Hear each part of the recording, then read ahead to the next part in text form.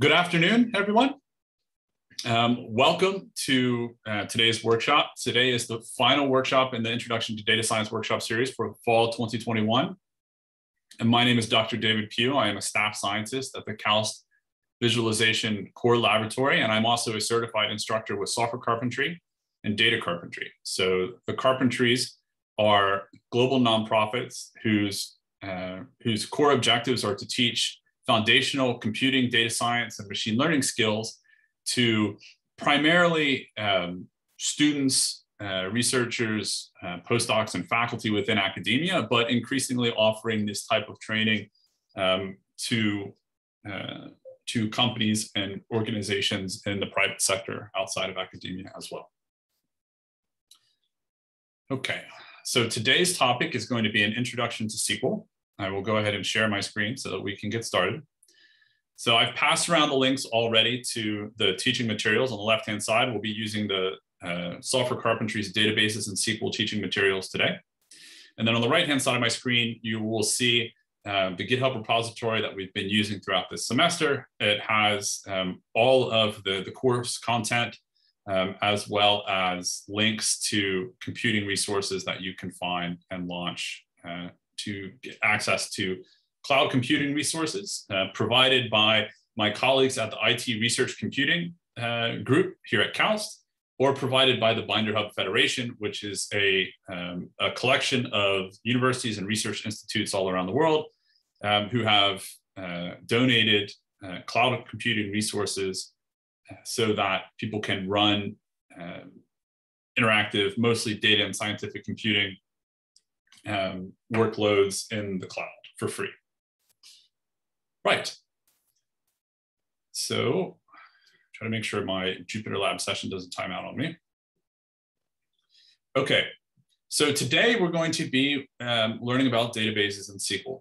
And the particular uh, database that we're going to be using today is um, a data set from the 1920s and 1930s um, from some scientists who um, led some expeditions to um, to a particular place in the South Pacific and then onward to Antarctica.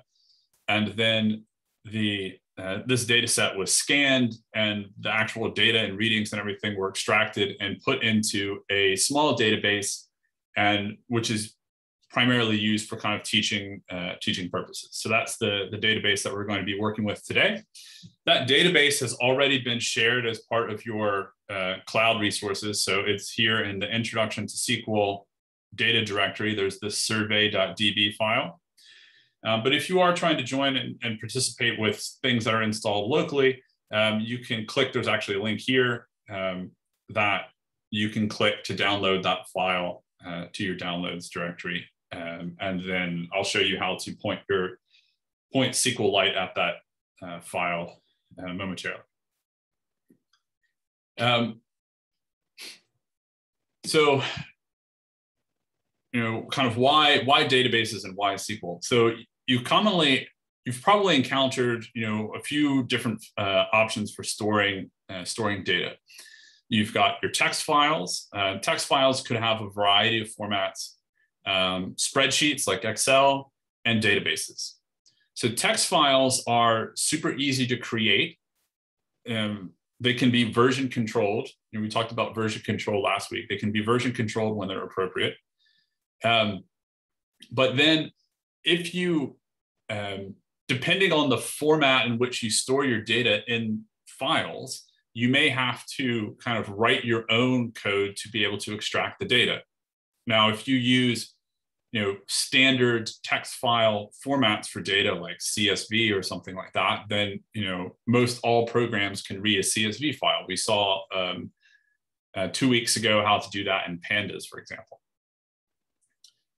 Um, so spreadsheets are, are also you know great for doing um, for doing more simple analyses, but they don't really handle larger complex data sets uh, very well. Um, you know, many a uh, many an embarrassing mistake in data analysis has you know has come from either um, running out of rows or running out of columns in an Excel spreadsheet or some kind of weird um, auto update or auto formatting behavior of an Excel spreadsheet. So for the things that they're designed to do, spreadsheets support those workloads very well, um, but it's good to move beyond them when, um, when necessary. So most of the world's data resides in relational databases. And uh, relational databases have been around for a long time, many decades at this point. Um, they can scale very well. They handle very large, very complex data sets. And today we're going to examine a particular uh, flavor of a relational database called SQLite. SQLite is probably the most widely used um, implementation of a relational database, in part because the databases are stored in single files. And what this means is that this single database file is very uh, lightweight and can usually be embedded inside of an application. So probably every application that's running on, on a tablet device or um, a smartphone, or maybe even a smartwatch, will have some SQLite database embedded in it. So you probably have multiple SQLite databases on your phone, for example, that are embedded in each of the apps collecting data and storing it temporarily before it might be shipped off to some other larger SQL database that lives in the cloud and stores database across or stores data for you know millions or billions of users or something like that. Um, and the query language for querying relational databases is SQL.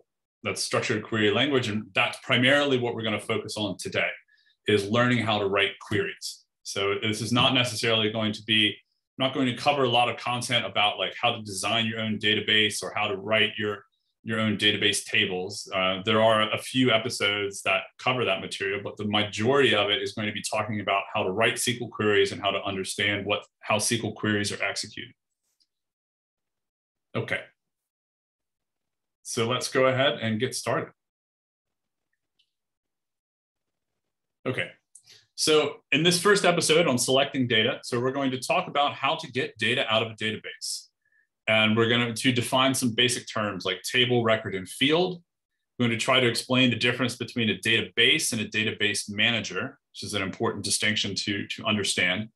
Um, and then we're going to write some queries, some really, really simple queries to just pull data from a database.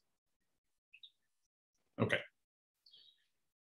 Right. So what is a relational database? So I've used this term um, a few times. So relational databases are databases in which the data is arranged in usually multiple tables. So each table is going to have columns. Columns are also sometimes called fields. And then the fields are going to describe different aspects of the data.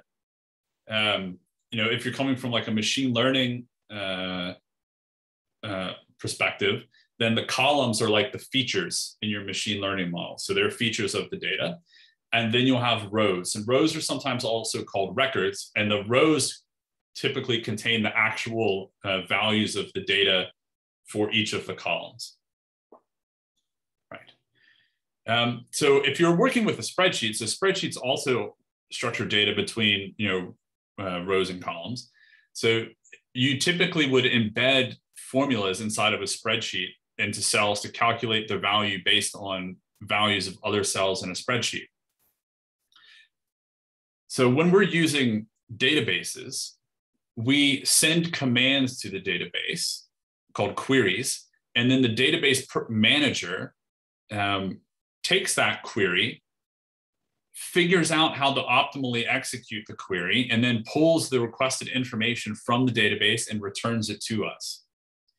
So unlike Excel spreadsheets where you embed, you modify the underlying uh, data by either adding a column and then making some formulas inside the column to manipulate um, data based on values in other cells, or you add a worksheet to a workbook, an Excel workbook, and then do, do similarly.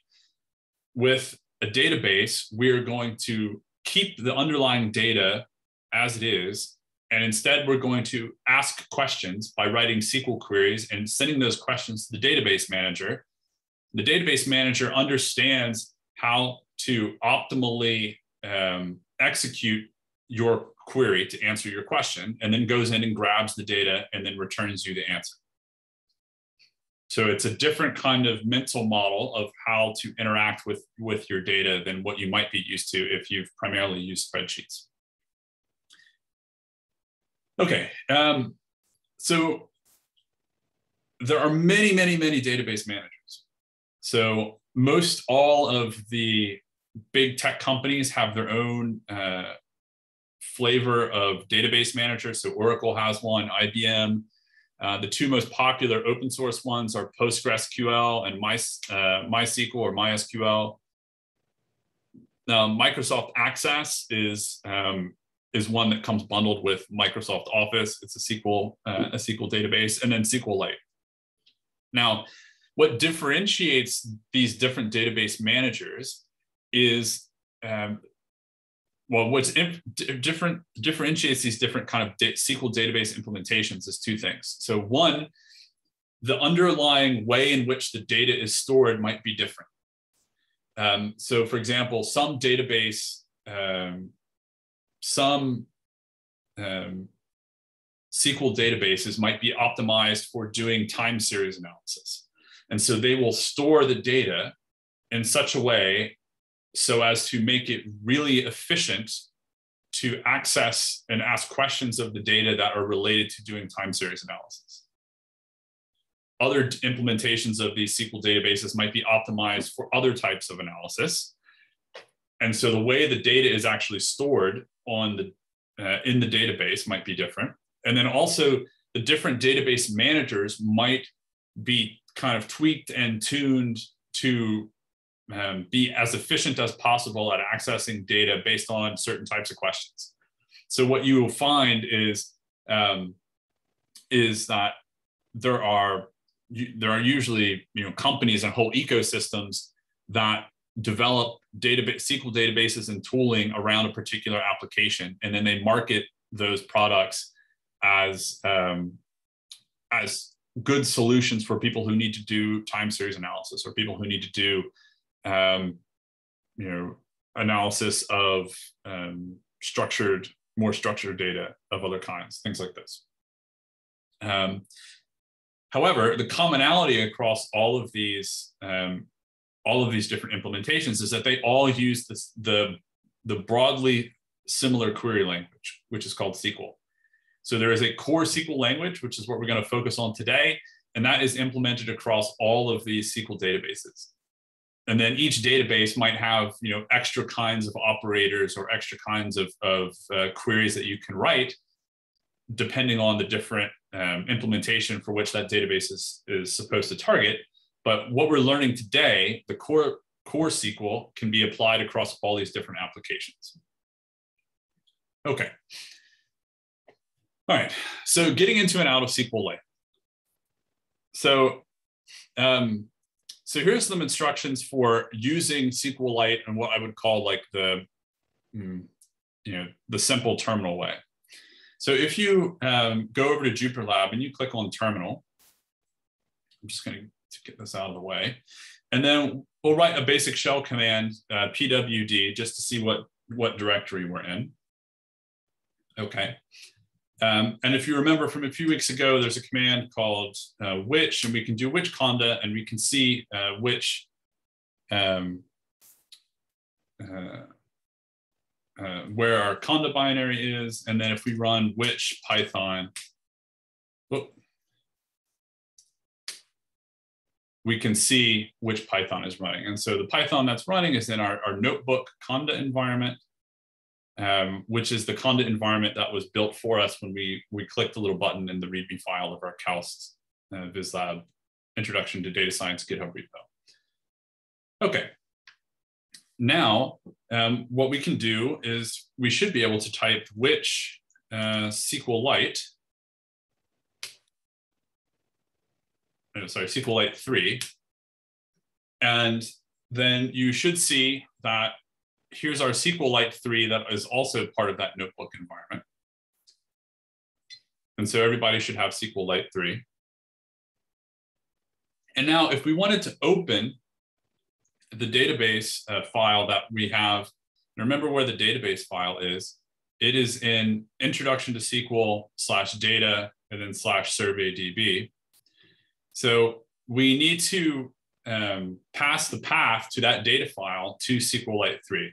So what I would typically do is I would, instead of doing this work in the uh, user home directories, I would change into the introduction to SQL directory. And then if we run ls, we can see here is this data directory. And so then what I would do is I would do maybe SQLite 3 data survey.db. And then hit enter. And then you will be taken from the bash prompt and dropped down into your SQLite prompt. And you're told you can type dot help for usage hints. So we could do help. And then we can get this whole help menu of different kinds of, of SQLite commands that you can run to do stuff, for example.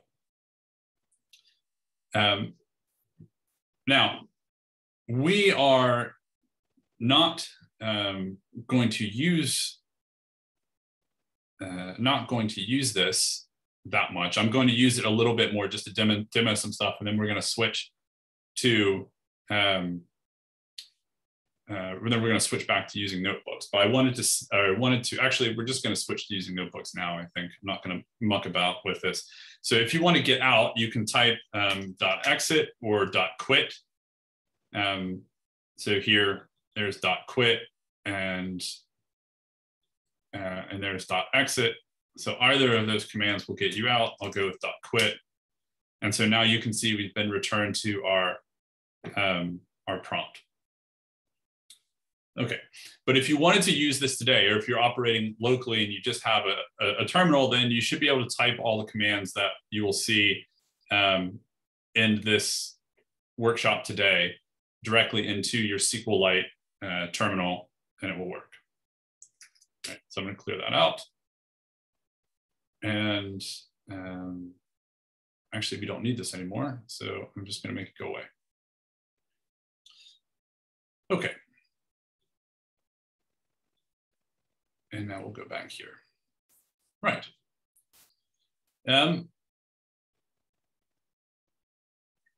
okay, so before we actually get to writing some, uh, well, okay, so let me show you actually now how to connect to, um, to SQLite in Jupyter.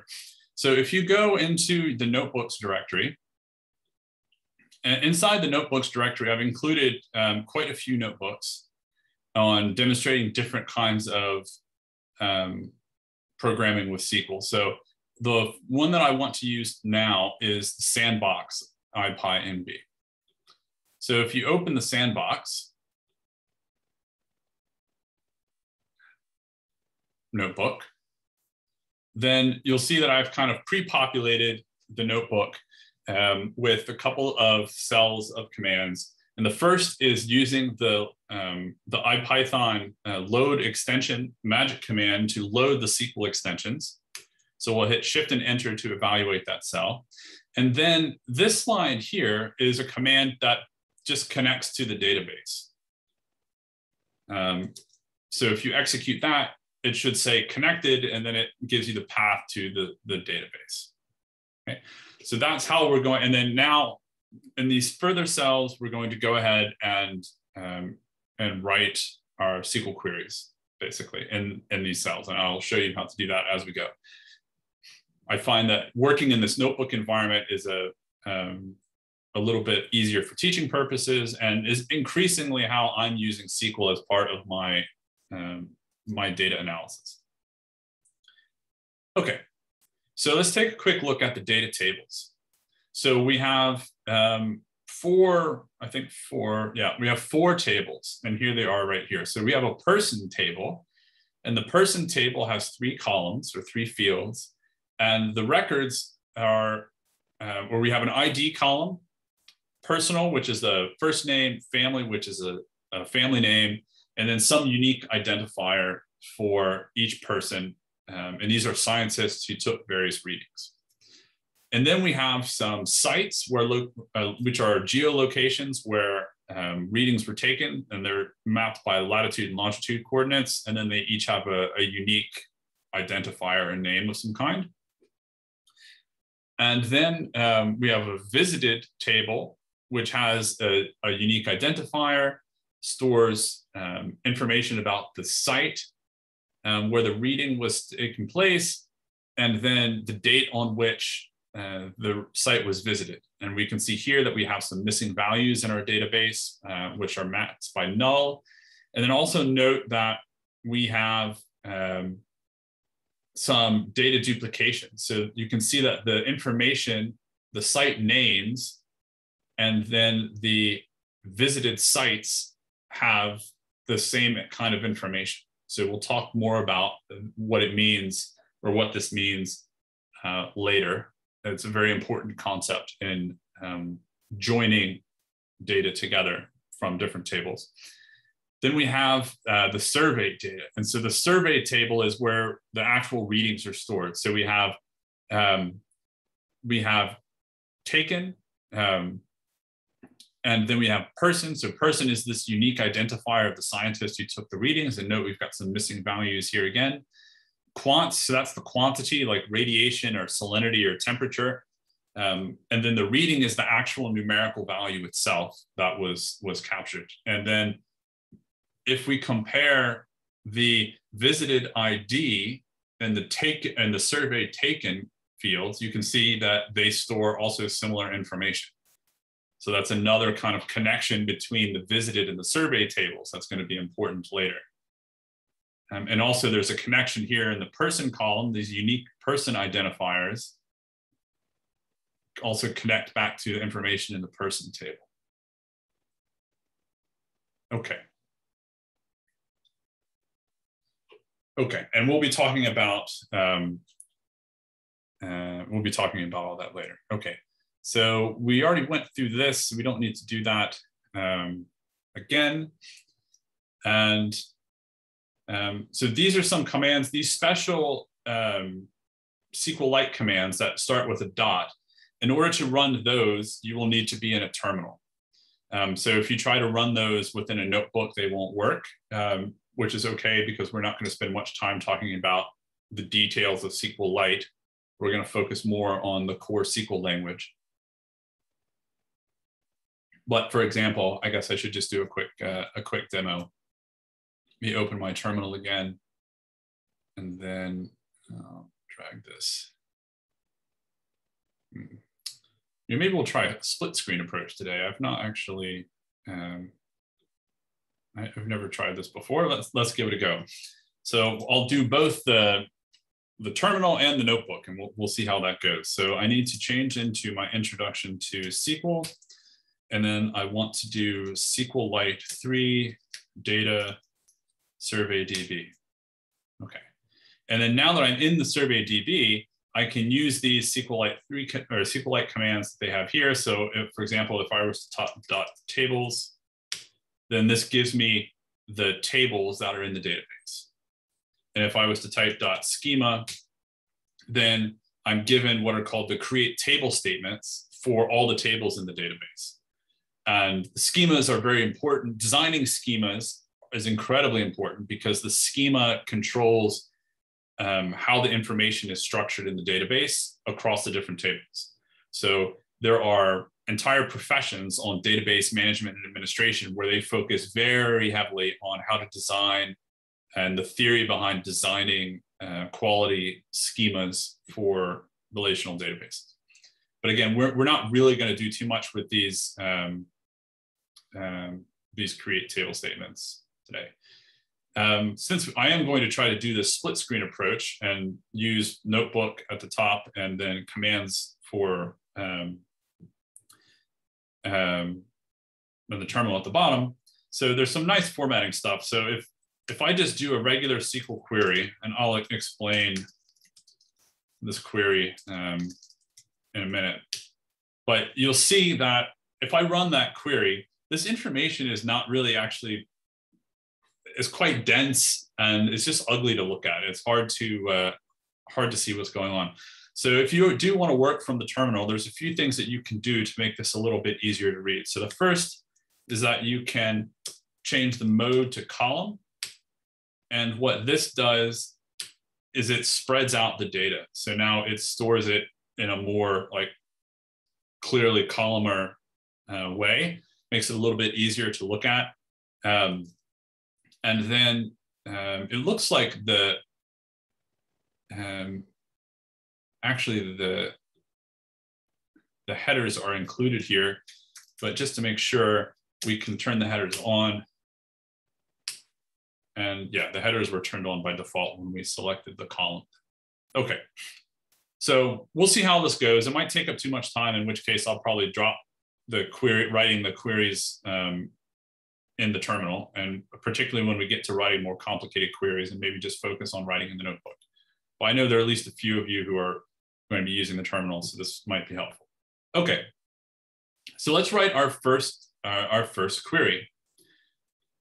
Right, so if you're writing in the SQL notebook, so normally in, C in, in the, sorry, if you're writing in the IPython notebook, or the Jupyter notebook rather, um, then typically you, you're gonna write Python commands in here. You might write something like, um, you know, for i in range five, print i, and you know, you're typically executing Python code. And if we were to just write our SQL co uh, query in here, so select family personal from person, and we were to try to execute this, we get an error um, because, of course, by default, this Python, this notebook, which is a Python kernel, expects this to be Python code. And then it doesn't, it doesn't know how to parse this as Python code.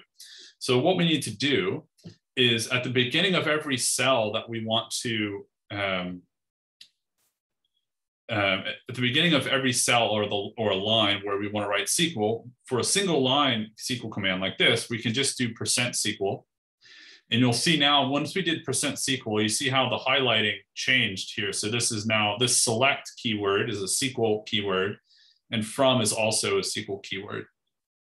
So now if we evaluate this with shift and enter, we've connected to the database that we uh, connected to up here and sent the query to the database manager and we get the result back as this nice table. That's pretty cool. And um, if we wanted to do multi-line SQL command, SQL queries, which we will do um, quite frequently, then we would need to do um, percent percent SQL. And then we would write the query um, below.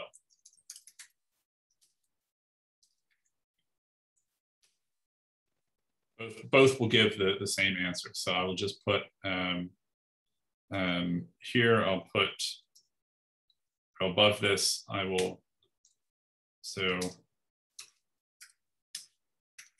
example of basic uh,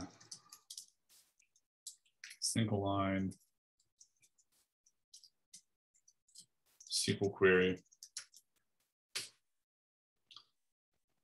And then and I'm going to post this notebook um, back to this repo uh, later after we're done today. So if you want to have exactly what I type here as a reference, I'll make sure that I that I put it there. And so this is an example uh, of a multi-line uh, SQL query. Okay. Okay. Now, of course, we can write the same query down here in the in the console as well. Um, note that SQL is case insensitive. So for example, I could do something, you know, really crazy like what they have in the text. So I could like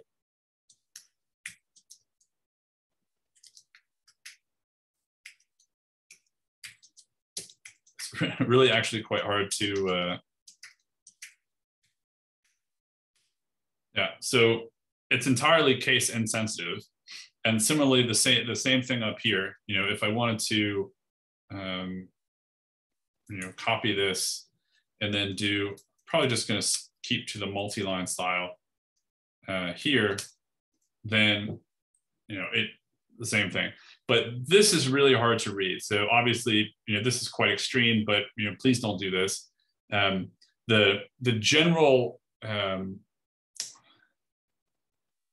uh, consensus way to write SQL queries is to um, write SQL keywords like select and from in all capital letters, and then field names like call or column names and table names in lowercase. And this just makes it visually easier to understand um, and locate certain parts of a query. Okay.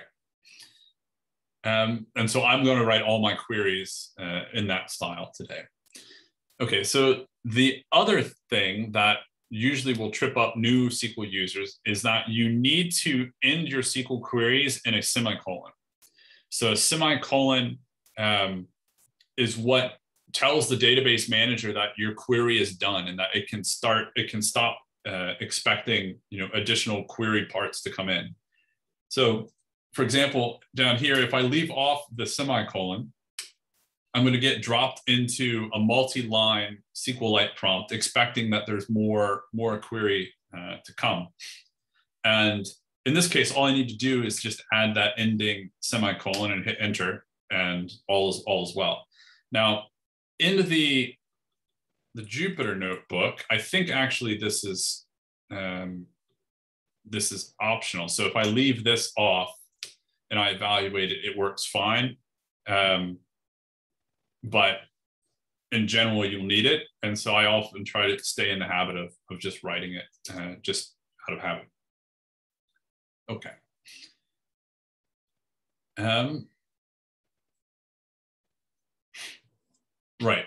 So let's go back to our, our query again. So let me let me just copy this one again. All right, so let's just talk about the, the output of this query. Um, so unlike a spreadsheet, which might have a clear ordering of, of rows in the spreadsheet and columns, in the database, the there is no um, there is no inherent ordering. So yes, there are rows and yes, there are columns, and the data is kept consistent in the sense that like um, the you know the correct data value for particular row uh, for particular column or field is kept in the right place, but the there's no inherent um, ordering in rows and columns. And so it's up to you when you write the query to basically tell the database manager if you want the, the data to be displayed in a particular order, uh, then you need to um, then you need to say that. So for example, um, I could change the order of the columns by changing the order of the field or column names in the query. Um, similarly, if I want to have, um, you can do multiple entries of the same column if you want it.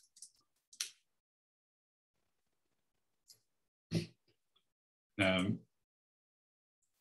and again, you know, we could do the same thing here. So if I copy this query and paste it down here, you know, it will do the, the same thing, um, or broadly the same thing, rather. Um, you might notice if you're kind of eagle-eyed that here ID gets repeated, whereas here um, ID, we have ID, ID underscore one, ID underscore two. The reason for this, and we'll talk about this a little bit, we'll go into details about this later, is that what we're actually seeing here is a pandas data frame. So when you're working within um, Jupyter notebooks and you use these SQL magic commands to run SQL queries and extract data from the database, it automatically gives it back to you as in, in, a pandas data frame, which makes it immediately ready for analysis with pandas or machine learning with scikit-learn or things like that. So increasingly, this is why I'm doing most of my uh, SQL work in a notebook because I'm eventually going to end up there in any case when I'm doing prototyping and model development. So I might as well start there and use SQL to extract the data. Okay, um, you will often use the star uh, wildcard. So we've seen this wildcard in our bash and in Git and in other um, other uh, workshops this semester. So we're going to see it again here. So if you use the star wildcard, it's a way to select basically all of the columns of data from a table, for example.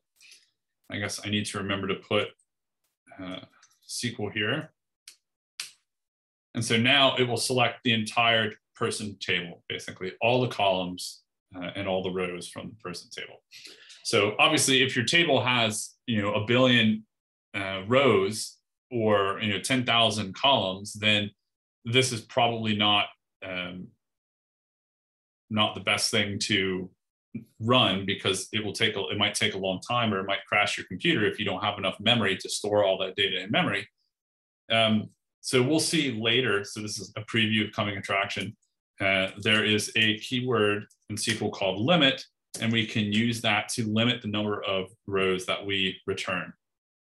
Uh, so for example, this type of query I run all the time when I'm connecting to a new database for the first time, and I just want to see like a little bit of information about each table. So I'll just do select star from that table and limit maybe like two or maybe five, something like that, just to get a sense of um, what the data looks like and what columns are in the data, things like that. Um, of course, if you're from the terminal, one of the benefits from the terminal, of course, is that you have this schema command, which you can run, which tells you all of this information kind of uh, without running little queries like this. But um, okay. So I'm going to give you uh, take like uh, maybe three minutes and have a look at these um, look at these exercises, and maybe we'll do uh, we'll do one or two of them together. Um, but just to just to wrap up, so we talked about relational database and how it stores information in tables, and each table um, has a schema, and that schema determines the fixed set of columns um, and their data types that are included in that table. And then what varies is the number of rows or records. So you can't easily add another column without going back and changing completely the schema for a table, which is an expensive operation. But you can easily add additional records to a table. So that's like adding rows to a table. And um, that gives you some sense of why it's so important to, to think deeply about how to um, how to um, structure your schema for your database. And we talked about a database manager being a program that you know takes your query and goes and gets the information from the database and returns it to you. And we saw some basic queries and we talked about select and from. So I'll go ahead and set my timer.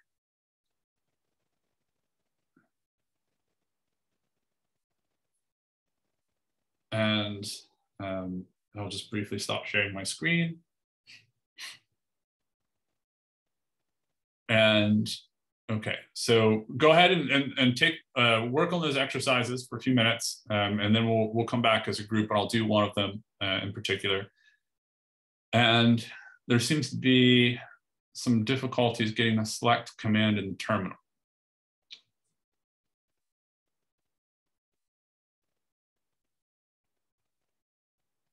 So one thing that you could be doing is that in the terminal, make sure you're not typing the percent percent SQL. Like that's the, um, let me share my screen again.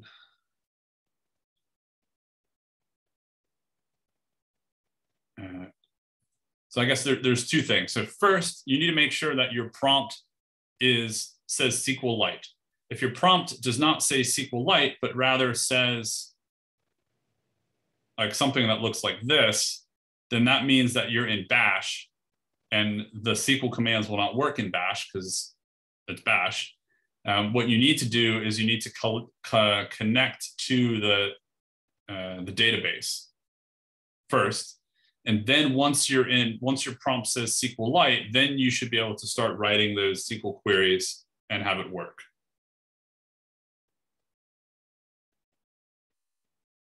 But to be honest, if you're really having trouble with the um, with the terminal, I recommend that you just drop it. and focus on using it from within the notebook. Especially if that's where if the notebook is is working fine for you, then just use it from within the notebook because um, that's by far the nicest user experience and um, and I, I, don't write SQL queries in a terminal anymore. Um, as you if if you stick with it through this uh, workshop, when we get to writing multi-line queries, you'll see that it's just so much nicer to have a multi-line environment in a notebook where you can write these queries um, instead of you know if you make a mistake, you have to go back and rewrite the whole query and things like that. It's a bit of a mess. Um,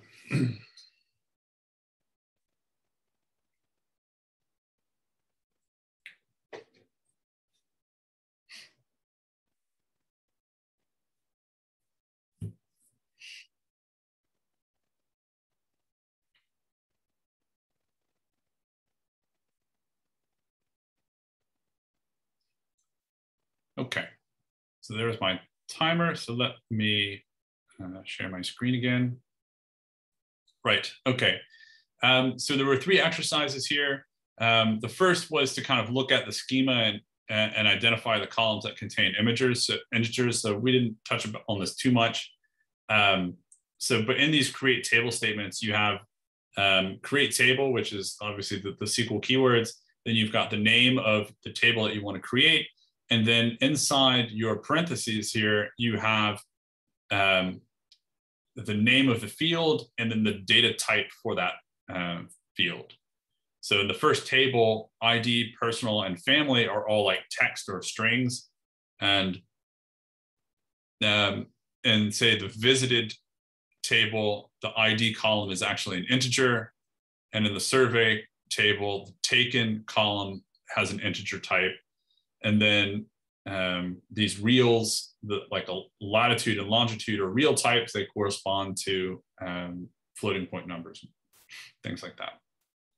Um, so selecting site name. So let's just give an example of this. So if we want to select uh, the name column from the site table, it kind of reads like English. Select name from site, done. Um, nothing, uh, nothing too fancy there. And then the uh, query style. Um, again, this is it's somewhat subjective, but to be honest, um, this style where again we do uppercase for the the SQL keywords and lowercase for everything else is so is such a widely used consensus that I'm kind of surprised that it's not being enforced by text editors and things like this at this point, um, and style guides and things. So please try to write your queries in that form where you capitalize the um, keywords and lowercase for everything else. Okay, so moving right along. So sorting and removing duplicates. So we're going to talk about how to sort a query's results and how to remove duplicate values. And uh, we talked about, or I mentioned how uh, data is data rows and columns are not inherently ordered when they're stored in the database. So we, as the authors of the query, are responsible for telling the database manager how we want that data to be ordered. And so we're going to see how to do that in this um, uh, in this episode. Okay, so we're starting out exploring this data and we would like to answer two questions. So we want to know what kind of quantity measurements were taken at each site. And we want to know which scientists took measurements on the expedition. So these are two questions that we want to answer from our data that are just kind of like basic questions. So if we go back and if you were to look at the, the data, uh, well, actually I have the schema uh, still down here. So if we want to know what measurements were taken at each site, then we need to look at the survey table because the survey table has information about what quantity was measured.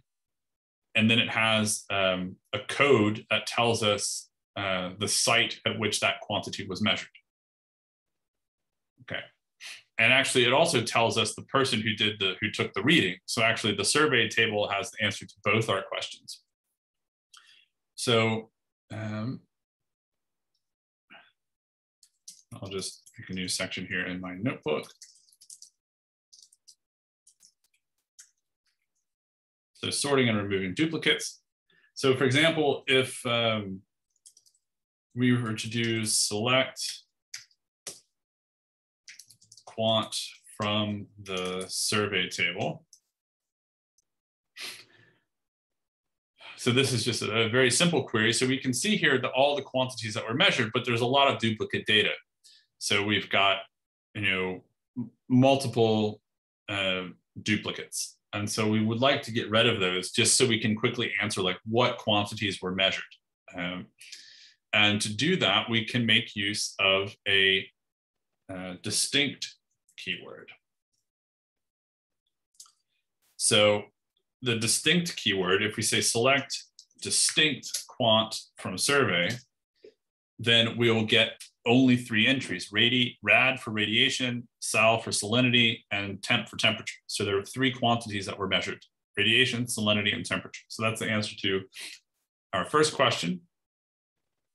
And um, if we wanted to find um, not only the distinct quantities that were measured, but for a given site, what were like the distinct quantities that were measured? So like distinct uh, site quantity pairs, uh, you can do the following. So if we say distinct uh, site quantity, then what we're going to get is distinct pairs. Uh, oh, sorry. Site is, there we go. Um, so these taken, um, so this is an index or integer code that maps to a particular site um, at which the reading was taken. And so what we can see here is that at site 69, uh, 619, there was radiation and salinity. And at site 622, uh, also radiation and salinity. And actually, if you go down to seven, site 734, you can see that all three values were, were taken at, um, at site 734, and so on and so forth. So the, the, the key here is that if you use distinct and you have multiple fields that you request, you're going to get distinct pairs or triples or and so on and so forth. Um, right. So the next task is to identify scientists on the expedition. Um, so let's go down here. Maybe I'll write this query in the, uh, in the terminal. So if we do select star from, from person, and now we want to decide how to order the data, we can say order by a particular field. So we're going to order by column or by ID. And so here, so that returns um, the data ordered by the data in the ID column. So since the data in the ID column was like string or text data, the ordering is going to be um, kind of lexicographic, uh, alphabetic type ordering. Um, and so that's why we get Danforth as being the first uh, row and then Roe being the, the last row. Um, if we wanted to do the opposite, so by default, um, the everything is ordered uh, ascending. But if we wanted the opposite, we could say uh, desk for descending, and then that would reverse the ordering. Okay. Now, you are going to often have order by an order by clause um, as part of your query because you typically will want results to have a have a predictable order in your uh, in your query results, and by default there is no predictable order of the data, um, and so you will often have an order by uh, an order by clause. Okay. Now, if we want to look at which scientist measured quantities during each visit, and I'll do this query, uh, this query up here. We, again, we want to look at the survey table.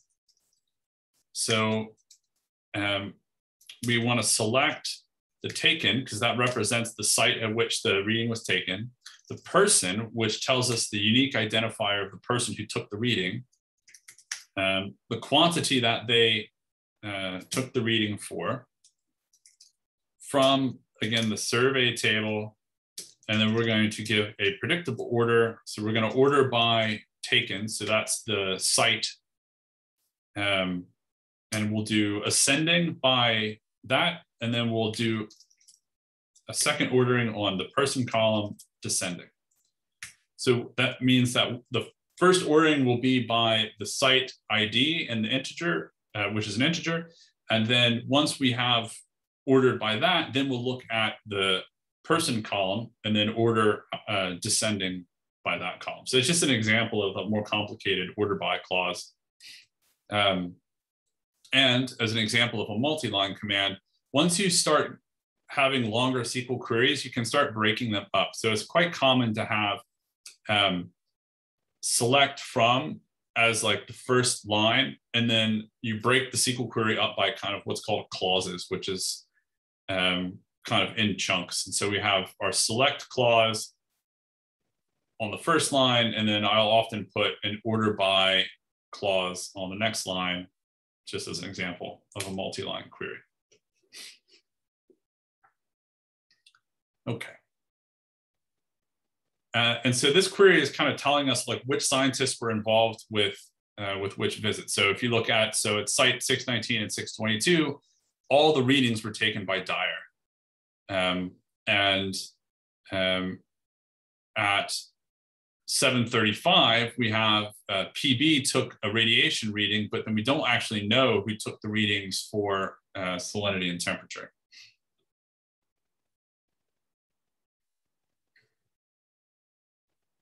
Now, um, there are some, so if we wanted to kind of get even more specific and we wanted to look for um, kind of distinct uh, quantity scientist or quantity person pairs. So um, to kind of see if scientists specialized in a particular measurement. So maybe like, um, um you know, Dyer always did radiation and salinity, for example, and that was it. So we could do, um, I'll just copy this query here, paste it, and then we're going to do distinct um, quantity person pairs.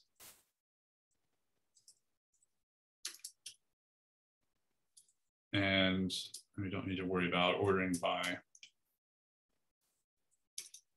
So we're going to order by quant. Okay. And so if we look at, so the radiation, we have, I don't know, four scientists who took radiation readings and three scientists and an unknown who took salinity. So there's no obvious pattern in terms of which scientists took which readings. So it looks like they all kind of took different readings at various times.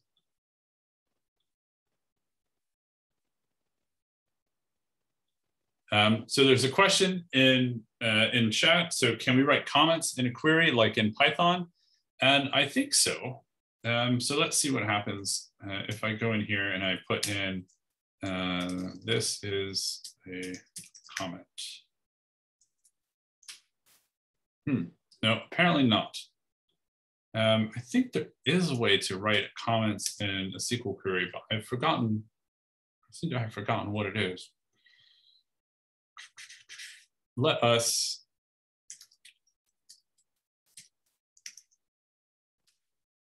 consult the Oracle.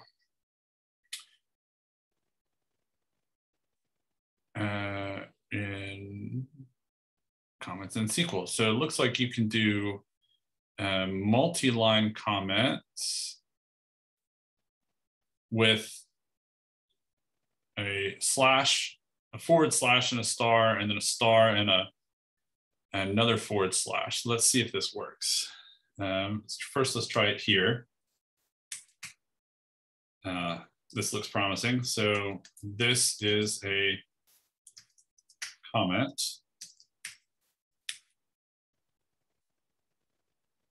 Um, spread over multiple lines. So there we go. And then I think uh, this is a one line comment. There you go. So you can tell I actually don't write comments that much in my SQL queries because uh, I didn't know how to do that off the top of my head. But as, as is usually the case, Google provides the answer for such things. So multi-line comments can be kind of blocked like this. And then single line comments, you can just put two dashes at the beginning. Um, and I wonder if you can even do something crazy like this. Will this also be ignored? Yes. So you can even break up your, if you had a really long query, um, you could put um, uh, comments interspersed in the query. So it, if you, some SQL queries could be, you know, hundreds of lines long, for example. And so for a query like that, it would probably make sense to break it up into sections and comment them extensively to explain kind of what the query is doing, things like that.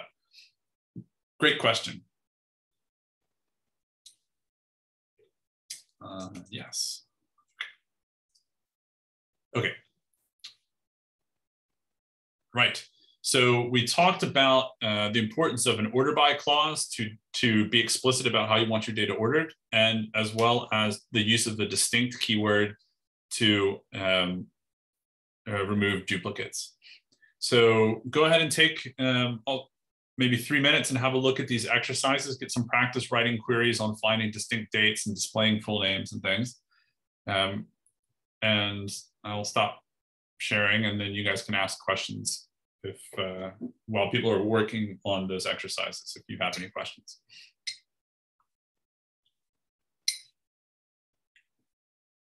And if you have trouble with an exercise, please ask me uh, to go over it and I'll, I can go over it. Um, otherwise, I probably won't, in the interest of time, go over uh, too many of the exercises unless there's something particular I want to emphasize.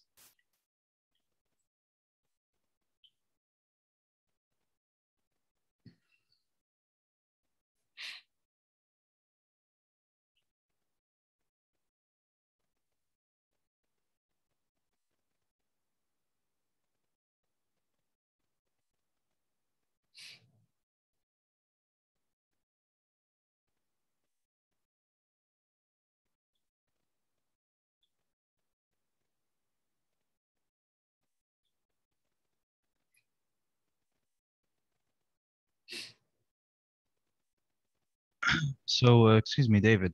Yes.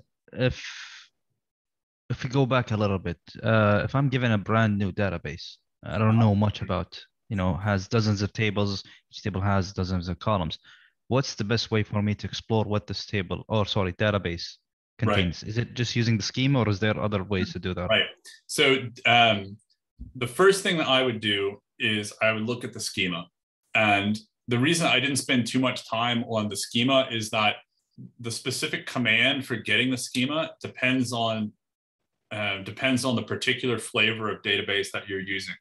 So like the dot schema is the command to do it for SQLite, but most likely if you are working on a production database, it's not going to be, um, it probably won't be SQLite because SQLite, it, SQLite is very widely used in production, but it's used for things like mobile apps where you have very um, aggressive limits on data storage capacity. So for like production databases in companies or like here at KAUST or in IT or something like that, um, you are, are, almost surely going to be dealing with either MySQL or PostgreSQL. Um, and I would think maybe in like HR at KAUST they have some um, like an Oracle database or something like that. I, I don't know. Um, but that would be the first thing. So figure out the, the command to access the schema and um, run that command and look at the schema. That, that will give you kind of a broad overview of what, what tables are there, um, what, um, what fields are in those tables and what the data types are.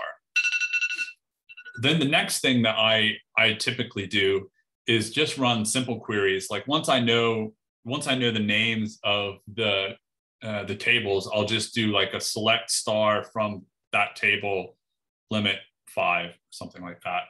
Um, and then just start looking at the data that way uh, to get a sense of what's there. So th those two things are what I do. So check schema is the first instance. And the second thing you want to do is just write some basic select star from whatever table.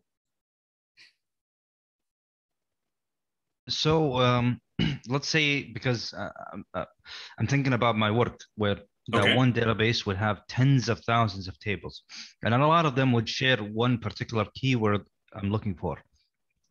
Is there a way for me to list out just the tables with that specific keyword and maybe go ahead do just like what you said uh, select well, each table file so what is the key, what do you mean by key keyword like is this some is this like a, a, bit of text that's buried in in some record somewhere and strewn across the different tables or is it a, like a, a the name of the table I'm, I'm speaking about the name of the table itself. It might have this specific keyword, then history, keyword data, keyword. Oh, whatever. because you have like you you have such a ridiculously large number of tables that you're not certain what the you need to find all the tables that match a pattern, something like that. Exactly, exactly.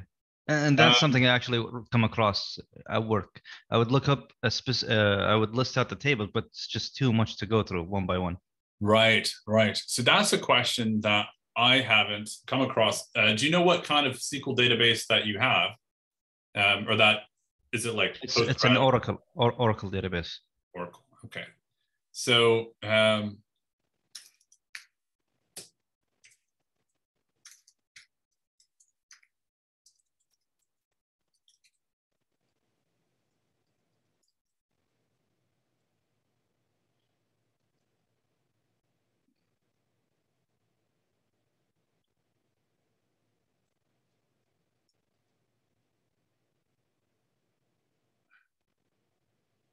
Okay, so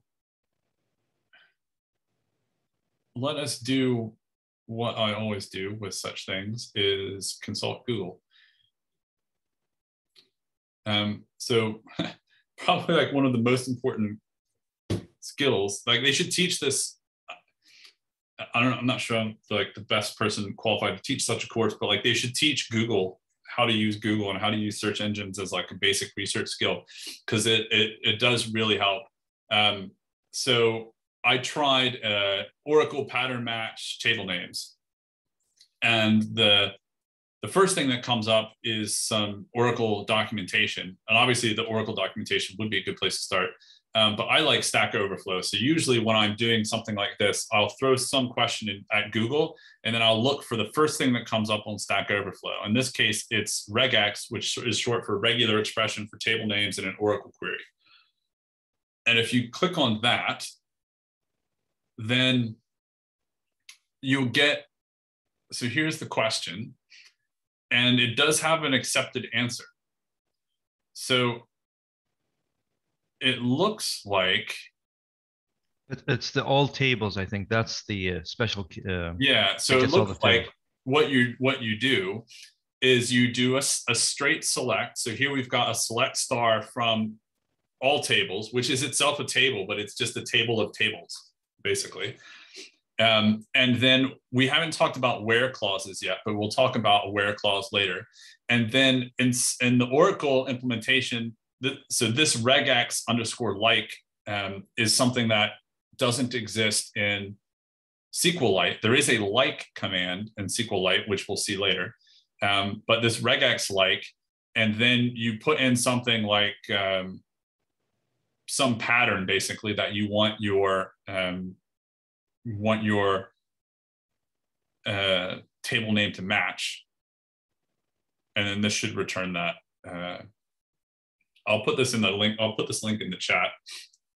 Um, I'm not going to 100% guarantee that this will sort out your problem, but it might, or at least it will give you a place to start. I would, I would expect. So there's the link. Okay, any other questions um, before we move on to the next episode? No, okay. So uh, keep those questions coming. So like I, I find those questions about particular implementations and how people are using SQL to be really interesting um, particularly people who are here at KAUST. Um, I know that there are lots of SQL databases here at KAUST. I, I, know we have users both on the research side and actually on the, you know, the administrative side of KAUST that that are, you know, using SQL. Um, but I don't often inter in, interact with with with users in my day-to-day work. So if you're here at KAUST and you're using SQL, like come and find me. I would be interested in knowing more about what you're doing. Okay, so if there's no questions, I'm just going to move on to the next um, the next episode. So filtering. Uh, so I'm going to make this a markdown cell and filter.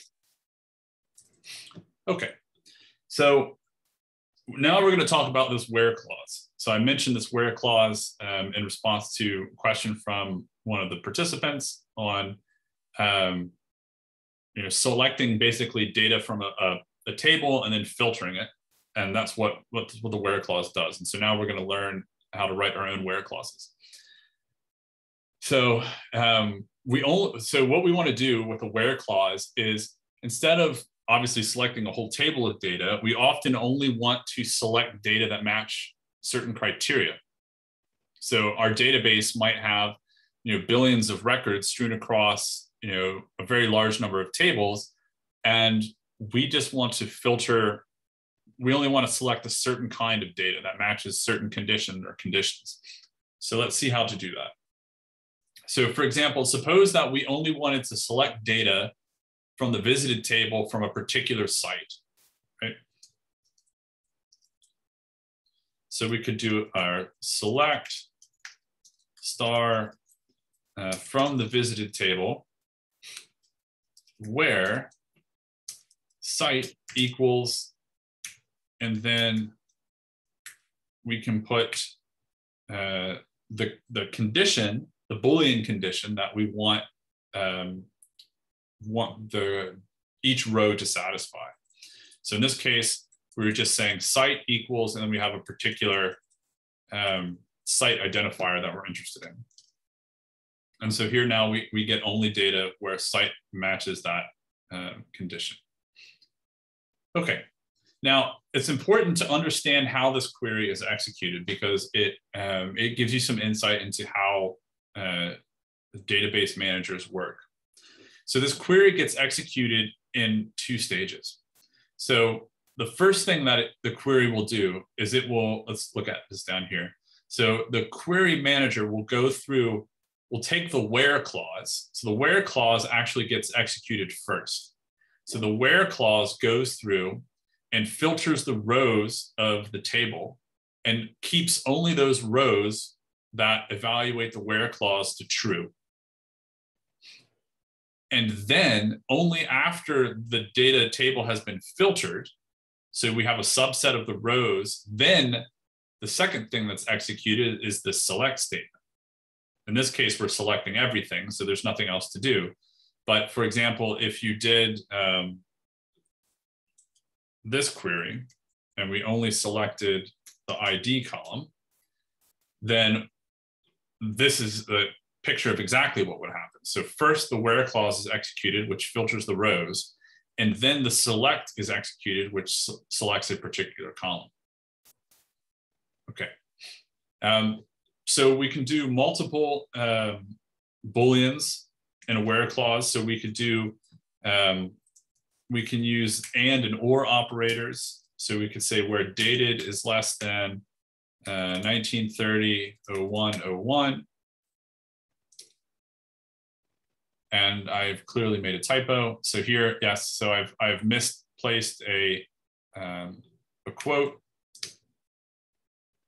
character. Um, so we can, you know, you can create these like complex um, booleans, and you can actually use uh, parentheses as well. Um, if you've got really complicated boolean conditions and you want to make sure that things are evaluated in the right order, you can put parentheses around the, the pieces of the, the boolean condition that you want to be evaluated as, as a group, that kind of thing.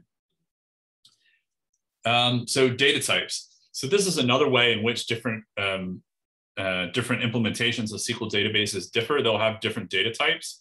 So um, for example, um, uh, many databases will have specific data types for representing date time, uh, particularly time series databases will have very elaborate um, data types to represent different aspects of date time and differences between dates and things like that.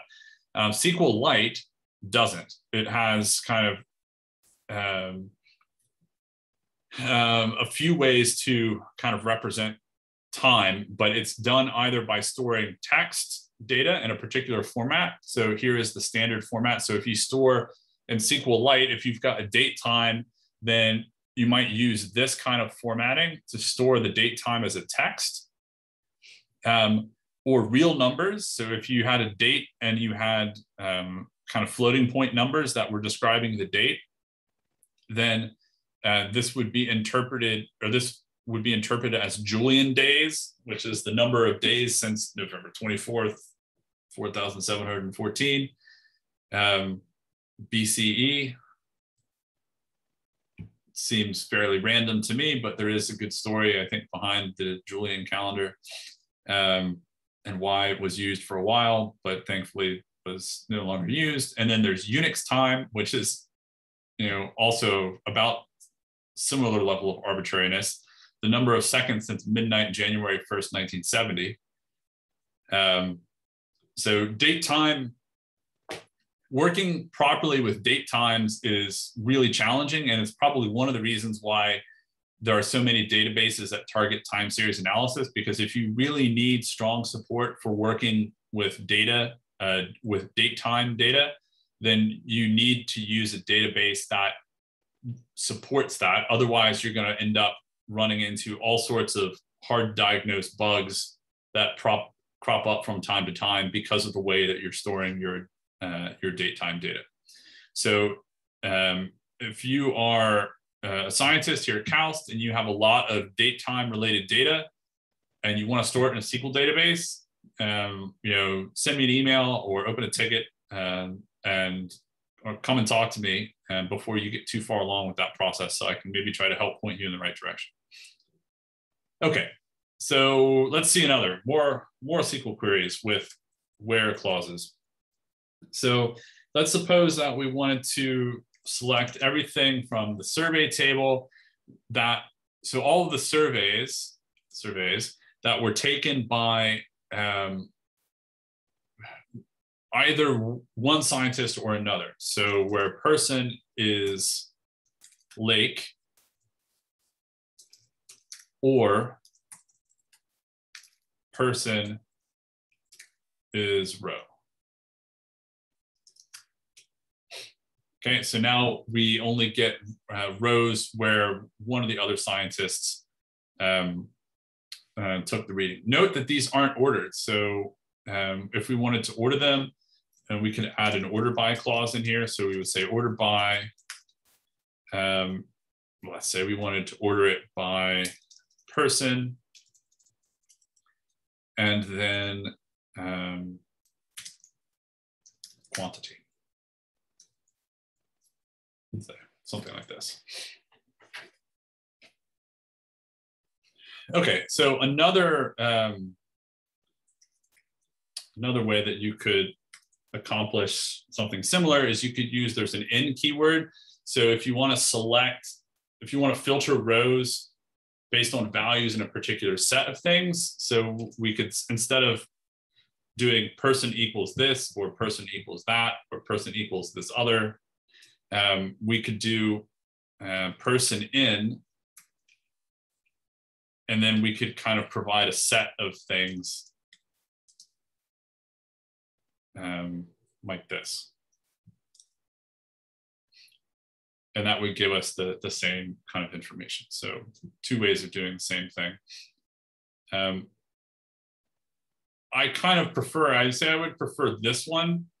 Um, it's a little bit more concise, is particularly if you had, like, let's say you had five different scientists that you were interested in um, getting this information for, you know, listing out five different person identifiers is not that much. But if you if you were to list out this kind of thing with three more scientists, you know, your query would be really long and a bit messy. So I tend to go for things that are kind of concise and particularly with SQL queries, like, you know, they're quite readable um, in that sense. Um, okay, so we can combine and and or operations. Let's see. Um, so for example, if we wanted to do um, quant equals uh, salinity, um, and um, so we could do this. Um, but I think the, so actually this is another good reason why you can use the in operator because if we use the, um, if we use this version,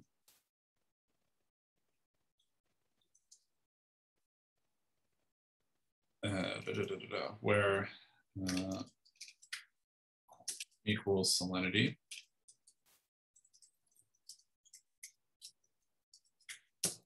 So uh, this is an example of where the parentheses are important. So if we left these parentheses off here, then this would get executed, the, the, the where clause would get executed from, uh, from left to right. So this would give us so where quantity equals salinity and the person equals lake, or any row where person equals roe, which isn't what we want. So we have to be, um, we can see that here. So so here, for example, we get roe and a quantity of uh, radiation. So we didn't want this row at all.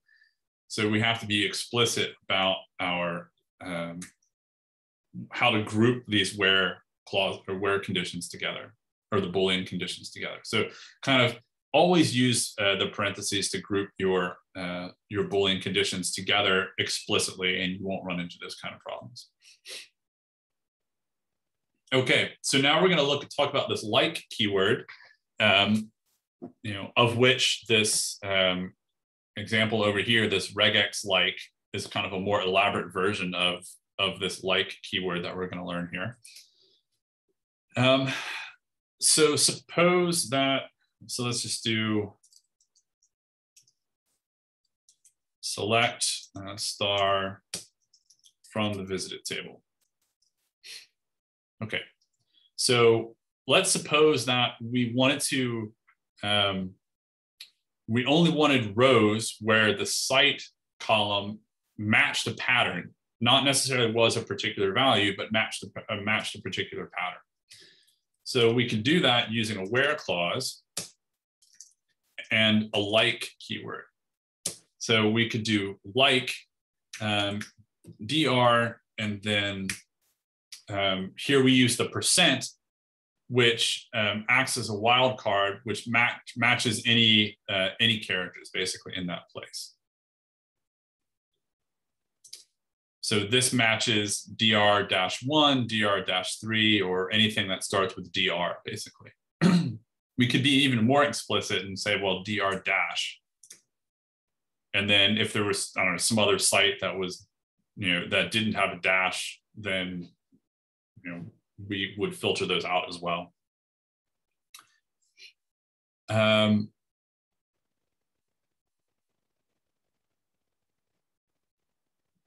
so you could use the distinct keyword again um, if you wanted to do like a second level of, of filtering. Um, I'm not going to go over that one. And okay, so growing queries. So this is a, a good um, um, we'll see more examples of, of growing queries in the rest of the, the episodes this afternoon. But the way that you write more complex queries is by starting with a simple query, simply usually something like select star from a table limit five, and then slowly adding more complexity to the query and looking at the results um, to try to make sure that the query is returning the results that, that you want. So you kind of build up more complicated queries from uh, simpler queries, for example. Um, and that's kind of the only that that's often the only way to to build up to the query that you want like you you generally i mean obviously as you get more experience writing sql queries it's easier for you to kind of quickly sit down and blast off a more complicated sql query but even for somebody who's been you know writing sql queries for you know a couple of decades or something um, sitting down with a new database there will have to build up to or have to grow a, a complicated query in little pieces kind of over time. Um, which is one of the reasons why I like working with SQL in the notebook so much because you you have this nice uh, multi-line editor in the notebook that you can just um, kind of experiment really quickly with these queries. Now, granted, this database is really small. You know, if I was trying to write experiment with SQL queries on a database with you know two billion records or something like that, then obviously the turnaround time from me writing the query to the query executing and returning the results back would be you know a lot uh, there would be a lot more time. It wouldn't be instantaneous um, but still. Okay um, let's take so there are some uh, some interesting exercises here.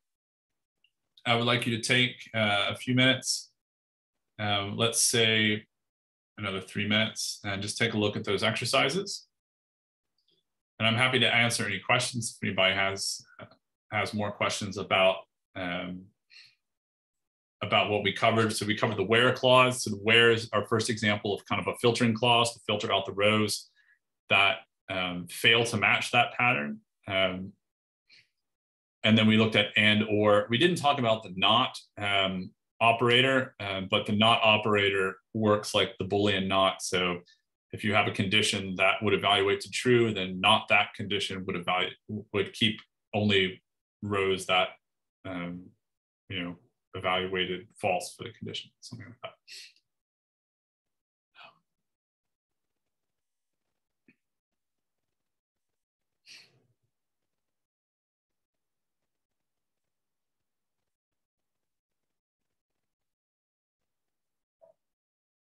Uh, so uh, question, David. Yes.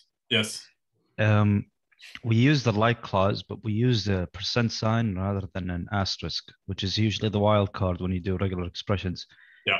Is the like a regular expression uh, uh, uh, function, or is it something else? Yeah, it's something else. So it, uh, and this this will depend a little bit again on the implementation. Um, so, like for example, the Oracle database clearly from just from browsing that SQL or that Stack Overflow uh, answer, the Oracle database has support for full on regular expressions.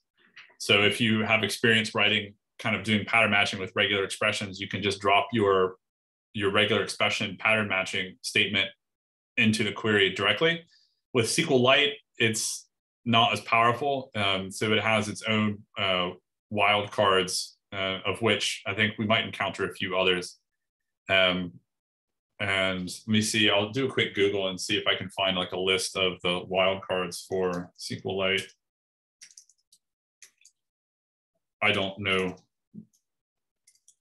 all of them, and I don't know why they do you they use non um,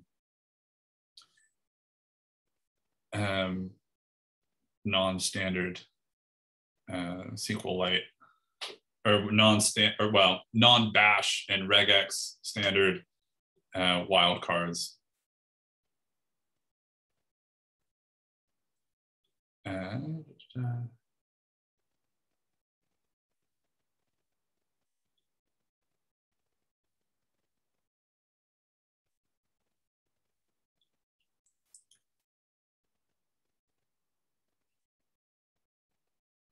So it looks like there might only be two, the percent which matches zero or more characters, and then an underscore which matches a single character, um, only a single character.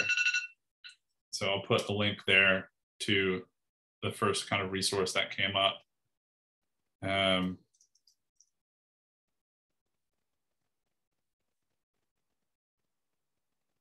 and actually, um, maybe I'll update my my teaching notes, but this, there's actually a glob operator that acts a lot like like that we just learned, but supports Unix pattern matching. So I'm actually going to test this one out here. Um,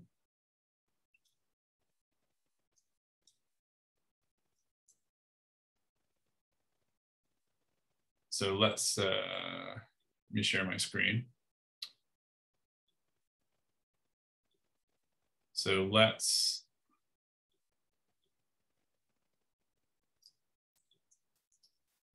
see if this works. So according to that second link that I sent out, there is a glob keyword which does supports Unix patterns. And that also appears to work. So cool. Hmm. It also seems to be a keyword that is um, either new or is unknown to the um, the linting package, which does all the highlighting here because this glob keyword is not being picked up as a SQLite keyword, but it is being accepted as a, um, so I'll put, uh, I'll put in here, um, so uses glob, which supports uh, the Unix or bash wildcards. So cool, learned something today. So I would almost exclusively use this now instead of like, because I always have trouble remember, remembering exactly how to write pattern matching expressions with like uh, operator. Um, but this glob operator, particularly if it, but this is a SQLite specific thing. So that's the other thing important. So um, I'll put uh, SQLite specific. So depending on what flavor of SQL, the, all all like the like, this is probably why these lectures use like and not something like glob, is that the like keyword is supported across as part of the core SQL language is supported across all of the um, different implementations of SQL databases. But then each implementation of um, of SQL has other stuff like in this case glob, which can be used to support Unix-based Unix or Bash wildcards as part of pattern matching operations, or the um, the Oracle implementation that has this regex underscore like um, so I'm sure that that's why the, the course materials don't talk about glob because it's a SQLite specific thing.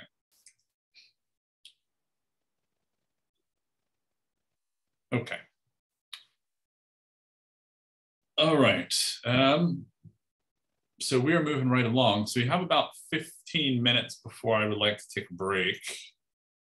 So I think what we'll do is um, I won't be able to cover these two episodes in 15 minutes. So um, we will go ahead and just do this calculating new values, um, which is a shorter uh, episode, and then we'll take about a 15 uh, minute break, and then we'll come back. Okay, so let me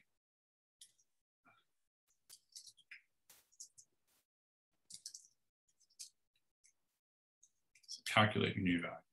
Okay, so here we're going to talk about how to calculate new values on the fly and how to write queries where uh, new values are calculated and then we get results returned. So this is at the very beginning of the day, I talked about how, you know, and if you've used Excel uh, spreadsheets, you might be used to, you know, writing formulas in Excel and cells that depend on values in other cells and things like that.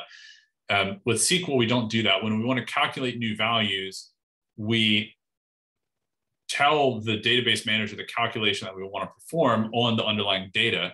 And then the database manager goes off, grabs the data, performs the calculation, and gives us the results back. Um, right. So let's suppose that um, the radiation measurements are underreported and we need to correct them upwards by 5%. So one thing that could be done is that we could obviously go back into the database and rewrite all of the tables that contain the uh, radiation measurements and actually change the values in the database permanently. But maybe we don't want to do that for a variety of reasons. And rather, we just rather calculate these new values on the fly. So the way that we could do that um, in this case would be we could say, well, we want to select, um, instead of selecting the reading from the survey table, uh, where quant equals rad. So this selects the radiation readings, but we know that they're say like 5% low. So we want to bump them up by 5%. So we multiply them by 1.05. And then we get back the results. And then by default, since the, the uh, database manager doesn't know what else to call the column of results, it just gives the name of the formula for the calculation as the um, as the uh, column header. So we can do more complicated things. Um, so if we wanted to select uh, taken, um, and so suppose we wanted to convert all the temperature readings from uh, uh, from Fahrenheit to Celsius and then round to two decimal places. So what we could do is we could say, well, if we're going to select uh, taken and reading from the survey table where uh, quant equals temperature. So here we're just selecting out um, all the temperature readings. Now, so this is an example of also growing a query. So I start with something simple, like select all the temperature readings. And then I'm going to say, okay, well, I actually want to convert the temperature, which is in Fahrenheit to Celsius. So I need to subtract 32. Um, and then divide by nine, and then multiply by five. And then this will give me the temperature, but now in, um, in Celsius. But I would prefer to round these floating point numbers so I can use a built-in function called round to round this calculation to two decimal places. So you can do things like this. Um, also, you know, obviously this column name is getting a bit out of control. So it, it's just auto populating it with this uh, calculation here. So what we can do, whoops, uh, to make our query a little neater is we can say this calculation as uh, Celsius. And then it replaces this calculation with Celsius. So this type of uh, this type of computations are really handy um, because uh, for performance reasons. So um, databases are highly optimized pieces of software that are designed to take advantage of all of the compute capabilities that um, are available to the are, are available given the hardware underlying the database. So this, if you have a database that's deployed on a server with 64 cores or 128 cores, then that database will be able to use all of those cores as part of um, doing the computing related to this type of these types of calculations. So there's a lot of parallelism that can be done and exploited, and this will just be done without you having to do anything because because the database programs are such optimized pieces of software. So what you can do and what it's often useful to do is to try to push if you're doing data analysis, you want to try to push as much computation onto the database as possible. So you want to take advantage of, you know, built-in functions and calculations and things like that that you can if you can push it onto the database push it onto the database that way you do as much work as possible as efficiently as possible and then you get like the the data set that you get as part of your results is as close as possible to a data set that you can use in downstream analysis doing with pandas or, or scikit-learn or something like that as possible. Okay, uh, so we talked about that. Um, there's another operator, there's a string concatenation operator. So this is, this example here was a, um, obviously a mathematical function, but there are other functions that operate on um, string data. So there's this concatenation operator.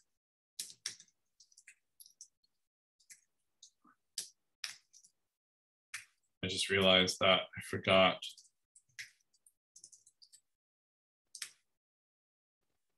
Oops, uh, what have I done? Typo. Um, and then I could do as uh, full name, something like that um, just as an example.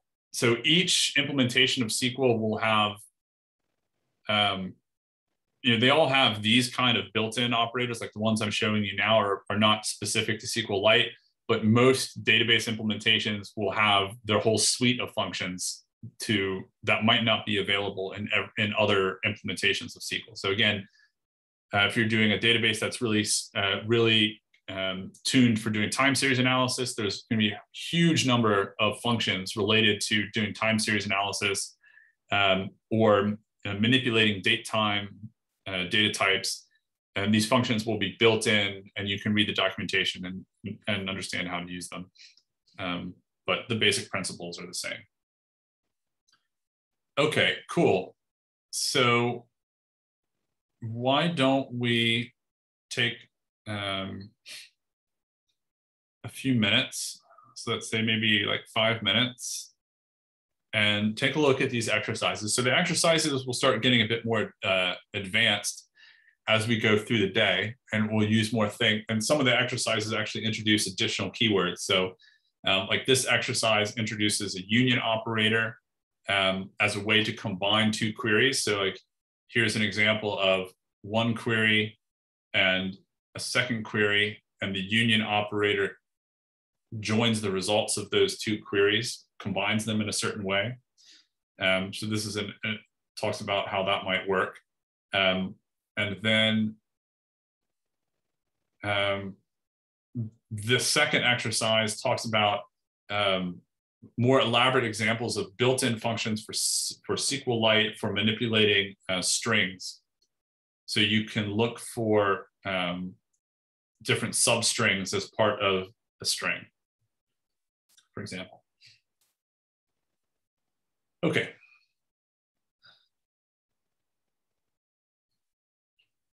So my timer is set. Feel free to have a go at those exercises, ask questions.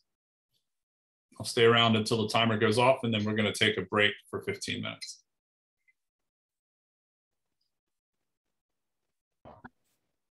So, David, uh, I do have yep. a question. Um, you mentioned that it's better to offload the computation to the database where the yeah. server's there and yeah. it's optimized to do the calculations. But is that still the case if you're running um, your data or uh, your database is located locally on the same machine where you're gonna where you're gonna do your downstream analysis? Is that still the same? Uh, does that statement hold still? Right. Um, so Yes, probably. And the reason I say that is because um, databases are usually set up and kind of out of the box, they will take advantage of all of the cores. Like, for example, I have a very nice workstation here at KAUST. It has like, um, like 30, I think it has, my, my workstation has 36 cores or something like that. It's, it's a bit absurd. Um, I'm extremely fortunate to have such a, a beefy machine as my workstation. Um, if I was to deploy a database on that workstation um, and store a bunch of data in it, that database would, would take advantage of all the cores on that machine would be capable of using all the cores on that machine to do calculations. If I was going to extract data from that database and then analyze it with pandas, for example. So out of the box, pandas is single threaded. It will use a single core. So then I could run like a giant query, pull a huge amount of data out of the database, and then start analyzing it in pandas. But on, on my workstation. But pandas is only going to use a single core. So if I want to take advantage of all the cores on my, my machine, I either need to immediately jump into maybe scikit-learn, or I need to look for something else like Dask that would take pandas and allow it to use all the cores on my machine, or I could push that computation into the database by writing a more compl complicated SQL query to try to do as much of the pre-processing that I would do in pandas in a SQL query. So the database would use all the cores on my machine to run the SQL query and give me back the results. And then maybe all I do is take the pandas data frame that I get as my SQL results and then don't have to do anything. Maybe it's ready to go straight into like scikit-learn or or whatever without any further computation. And so even in that case, um, it, it can make sense. I mean, it it it there are some gray areas because it depends on the kind of calculation that you want to do because sometimes there's more sophisticated pre-processing like let's say for example you wanted to do like something like a fourier transform on some numerical data as part of a pre-processing step something like this you know, you're not going to be able to write a SQL query to do a Fourier transform.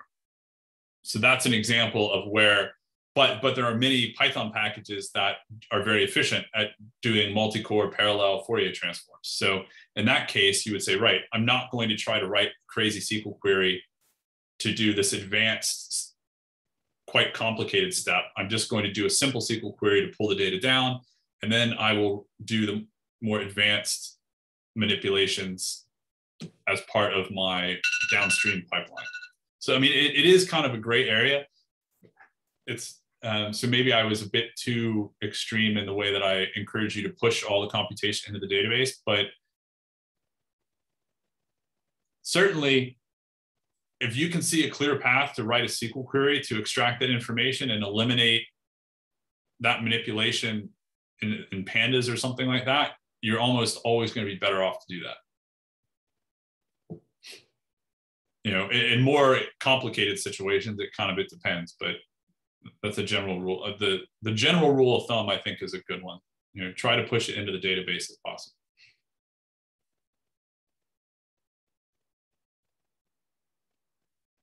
Um, okay, so there is a question about an online relational calculus calculator, which can be used to optimize complex SQL queries. Um, uh, do you have a link to that? Um, are you saying that this online RC calculator exists, or are you asking if one does exist?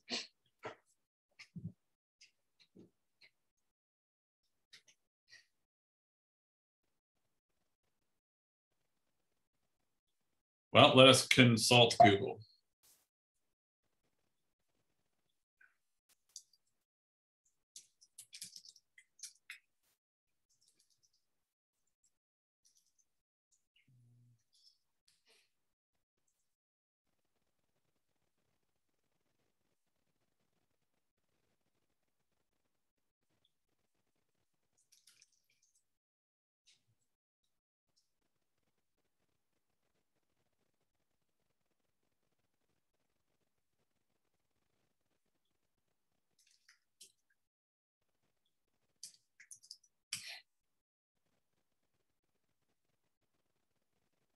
Okay, let me share my screen.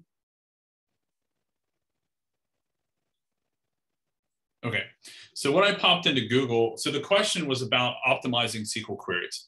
So we haven't had to talk about this too much because um, because we're using a smaller data set and we're not writing really complicated SQL queries. But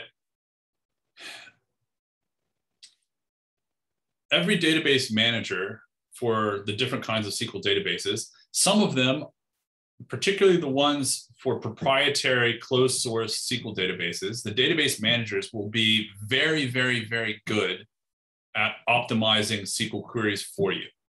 So you might give a, for example, you, you might give a basic SQL query to an Oracle database, the Oracle database manager, and that Oracle Database Manager will behind the scenes completely rewrite that SQL query for you and then execute it and then give you the results because it knows how to write better SQL queries than you do, essentially.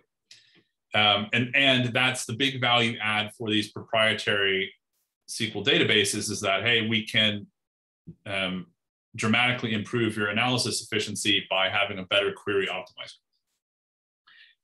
Um, but there are also lots of tools for doing automatic um, SQL query optimization and performance. So I just threw this into Google. So automatic optimizing SQL query, and quite a few results uh, come up. I will just kind of let you, you know, you can put throw this into Google and start perusing these uh, these results because I, I don't have any experience using them, so I don't want to recommend I don't want to recommend any of them per se. Um, what I do find is that um, if you are using, like, say, SQLite or PostgreSQL or MySQL, um, which are, are, probably the most common ones that you will encounter, um, unless you're at an organization that has purchased a um, a commercial SQL database. Um, you know, you start writing your SQL queries, and if they're executing too slowly, then you start googling about how can I make them faster. And maybe you maybe there are there are certainly things that you can do to organize your SQL queries um, to make it easier for the database manager to execute them. And I'm glossing over that because I'm just showing you the best way to write these queries as part of the, the teaching notes here. Um, so I'm I'm kind of doing that for you without telling you that I'm doing that. Um, but I leave it to you to kind of look look at this in more detail. Okay, um, so we're a little bit past three, so I would like to take a 15 minute break. Uh, so let's come back around 3.15, uh, not later than 3.20, um, and then we'll pick up with the uh, second half of this afternoon's workshop. So I'm going ahead and pause the recording. Okay, welcome back.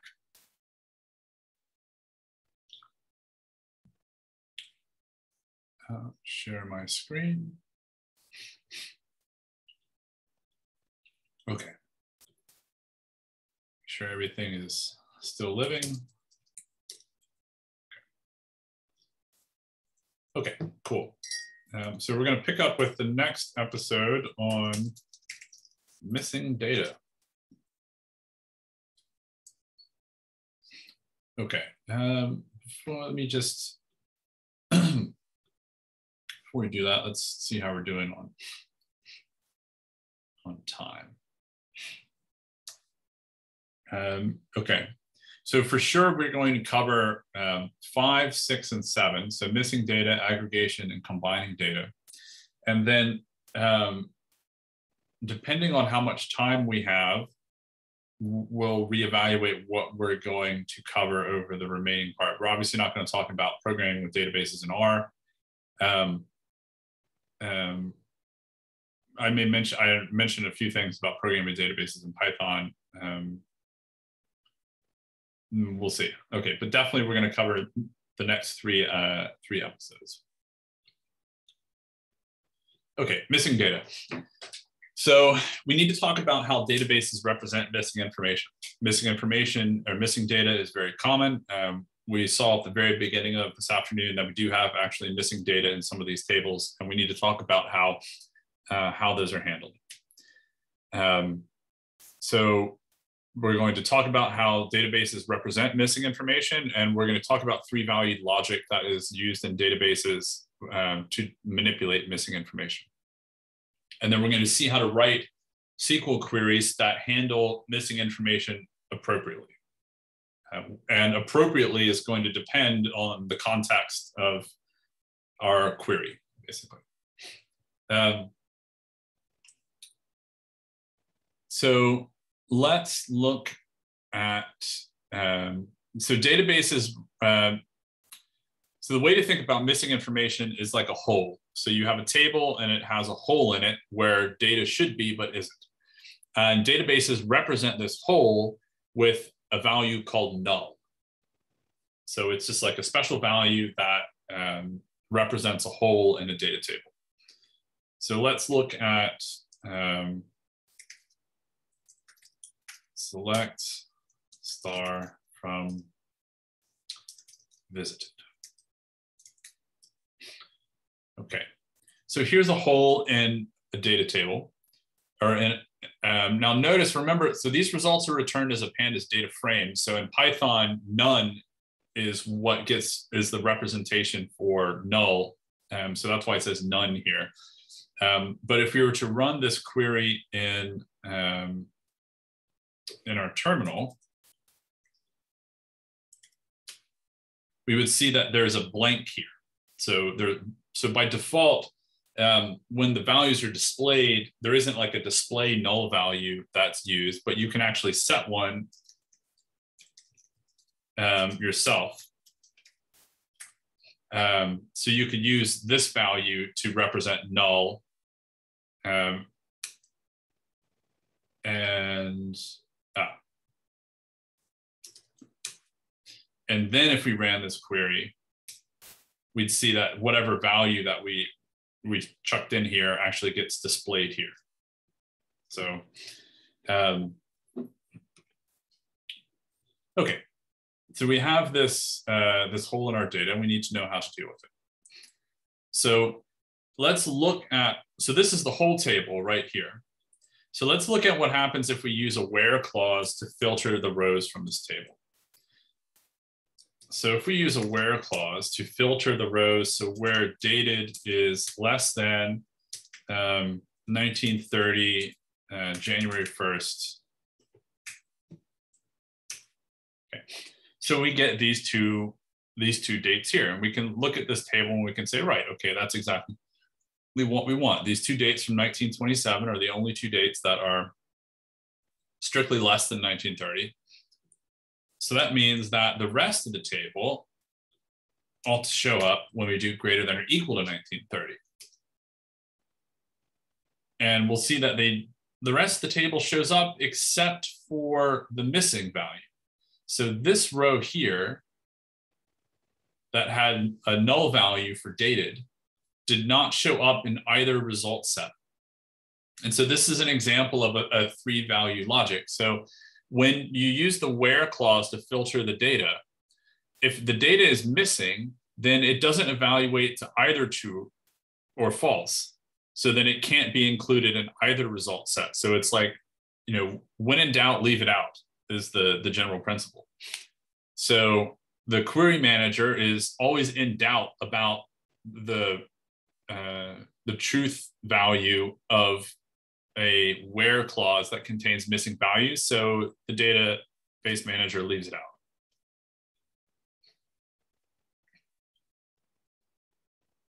And da, da, so um, other um, other operations, like if you try to do mathematical operations or apply functions to null, the result is always null.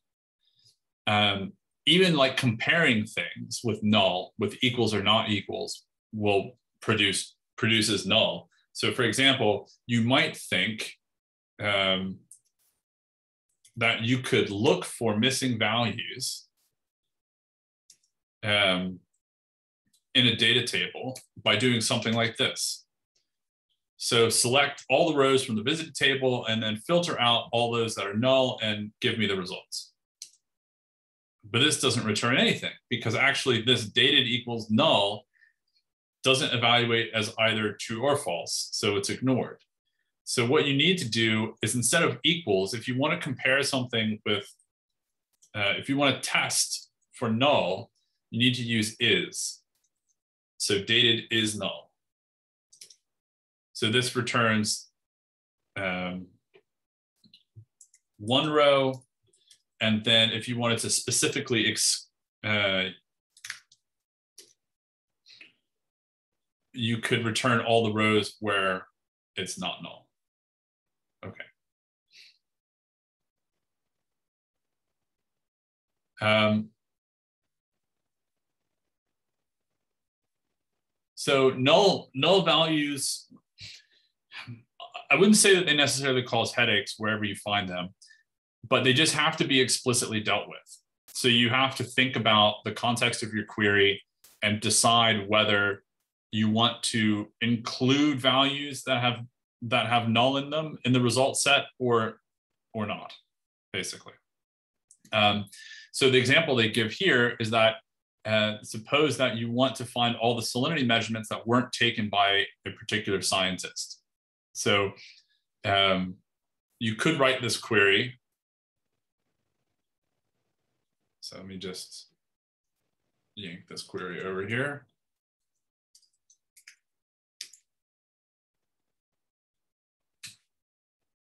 So we could write the query like this.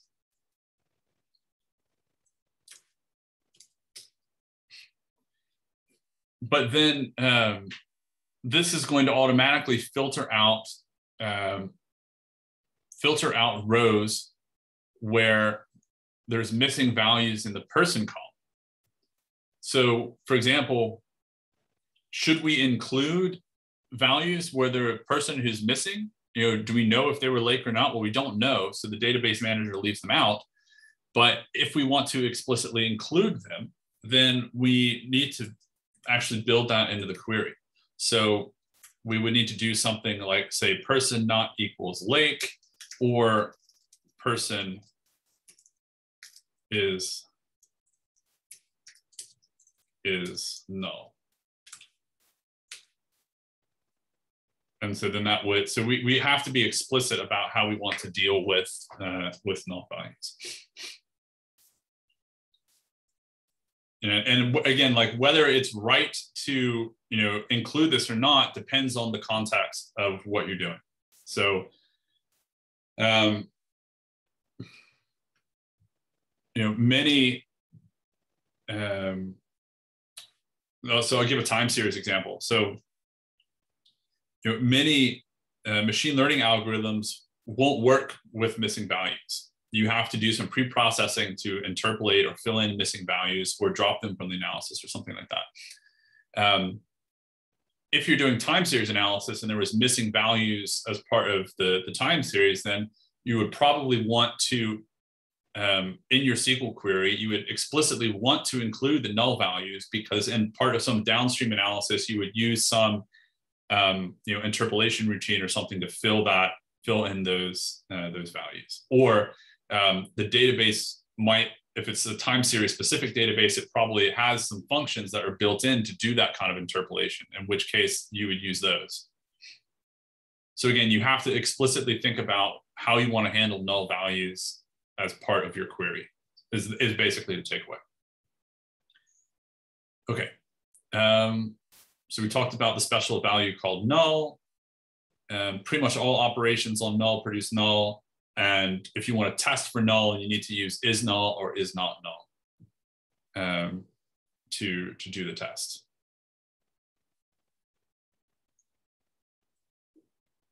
Um,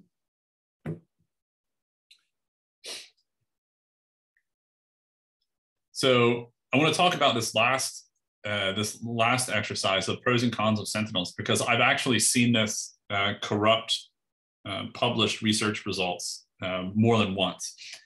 And so some database de designers will use, instead of using a null value, they'll use some sentinel value.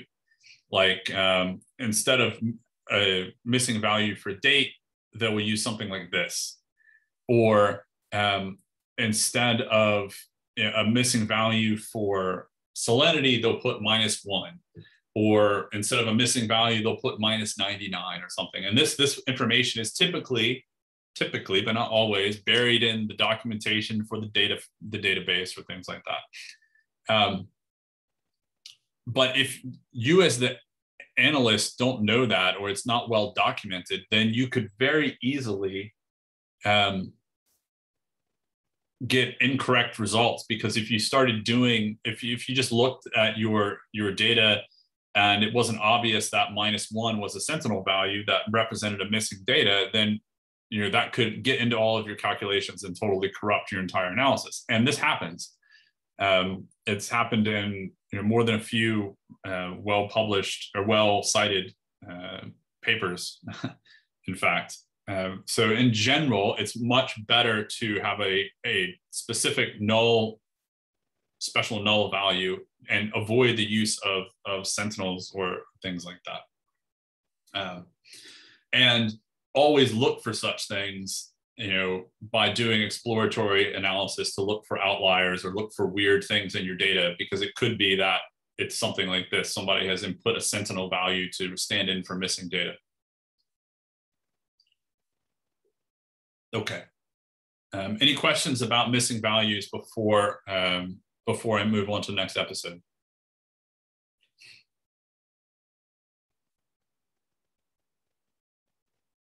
Nope. Okay.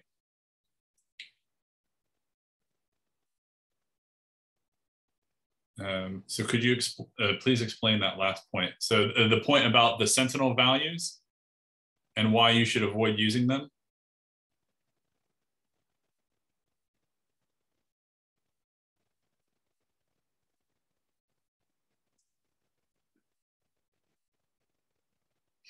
Ah, okay. So, okay. So, um, in terms of an example of what what you should do, so usually you don't have to do anything. So, like if you are using a database, um, most database most databases have a have built-in support for null value, and they use a special null uh, a special null value. Where I've seen this in the in the research context is usually the following researcher downloads uh, data from a database, you know, maybe using a SQL, maybe using a SQL query, or maybe um, they get you know a DB administrator or something to write the SQL query for them, and then that person like gives them the results as like a CSV file or something like this. Um, then what the researcher does is they see, ah, oh, there's all these missing values. And then they go through and plug the holes with a sentinel, like, you know, minus one or, or something like that. Um, and then maybe they use it in their analysis and it's fine. But then that data set ends up in somebody else's hands who doesn't know about the fact that there's these sentinel values in there. And then they start doing analysis on that data set and their results quickly can go astray without them knowing. Um, and sometimes the uh, and and those kinds of of of uh, data quality issues can be hard to hard to spot. So basically, what um, what you should do is um, don't use don't use sentinel values. So if you want to fill in missing values with a specific value from a calculation, that's fine, but don't just go in and manually add these sentinel values um, to your databases or to your to data data sets. Um, and certainly if you're using a database that supports missing values with or supports null and which I mean all of, all of them do, then just use the default settings and don't don't feel like you have to plug the hole. It's okay to have missing missing values. Okay. Moving right along.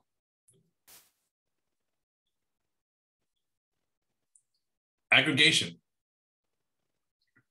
Let me share my screen. Okay. Let's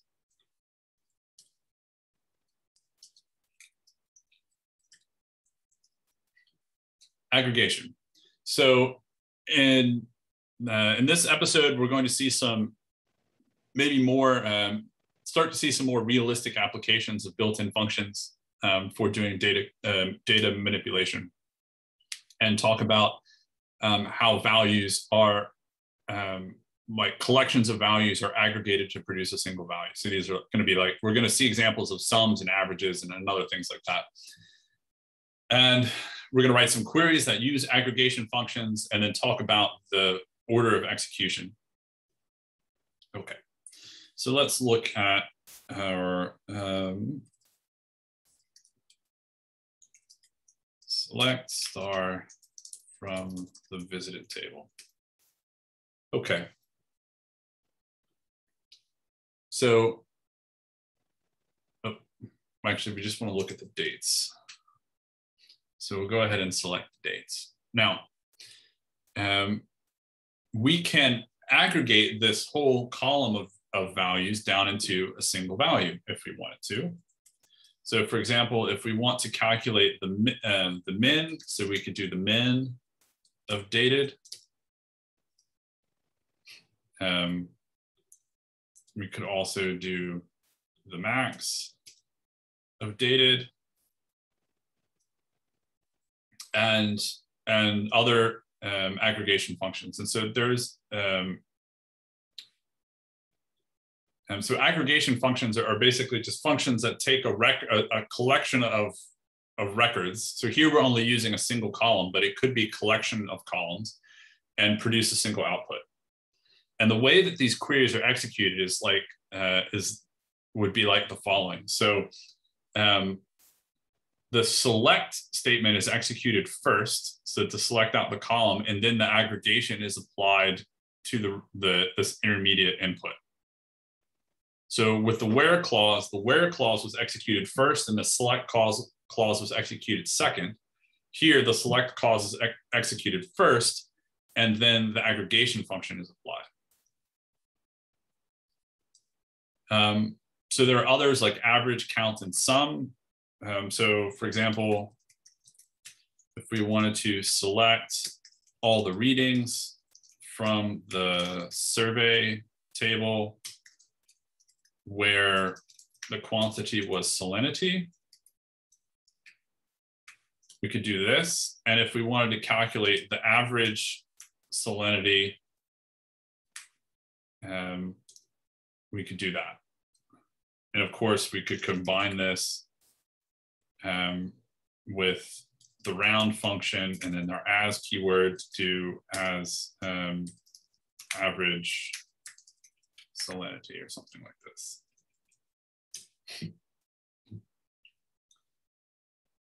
Um, so there are other examples of, of aggregation functions in here. Um, now, well, let, us here's another example. Um, so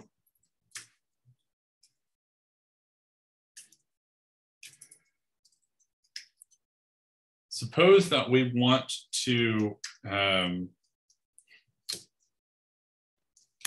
count the number of rows in a data table.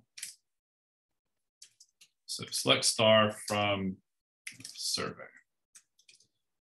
Okay, so we can take the count function and actually pass in not just one, but we could pass in the entire collection of, of columns and it's still going to aggregate those results down and count the number of rows. There are 21 rows in the survey uh, in the survey column.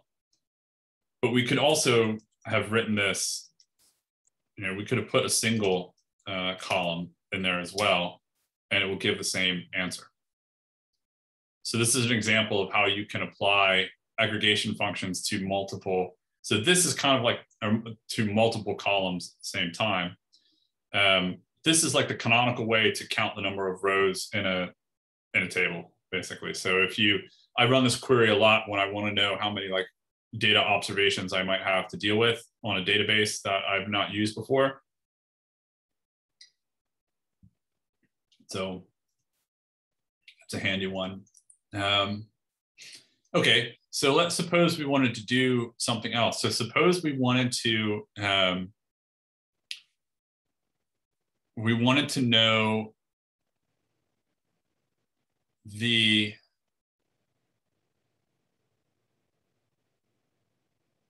number of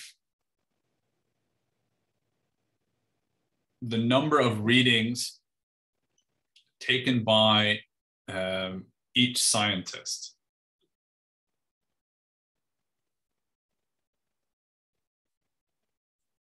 Um, yes, you can use, so the question in chat is, can we use count with a condition? Yes. So what we, um, we could have done, for example, so let's see an example of count with a condition. Um, so let's do select star from survey. Let's suppose we wanted to count um, the total number of uh, temperature readings, say. So what we could do is we could do something like where uh, quant equals temp, and then we could put a count star in here. Now, the way that this query will be executed, remember, is that the where clause will be executed first. So the where clause is executed first. And that filters out or filters out all of the um, all of the quantities that only correspond to temperature. And then the select statement is executed. And that selects, in this case, all of the columns from that um, subset and then the count is applied to the result. So, the, so again, we also could have just done this, and that will give you the same, of course, the same result, and saves a little bit on internal memory consumption because now the select statement is selecting out a single row instead of the entire, or, or sorry, a single column rather than all of the columns. So, but I generally would do this because I, those kind of like micro level optimizations are not so relevant or are often not so relevant. Um, where were we? Ah, okay. So here's an interesting example. So suppose that we do the following. So we do select uh, person, whoops, um, select person and then count star from the survey table where quant is equal to salinity and the reading is less than or equal to one.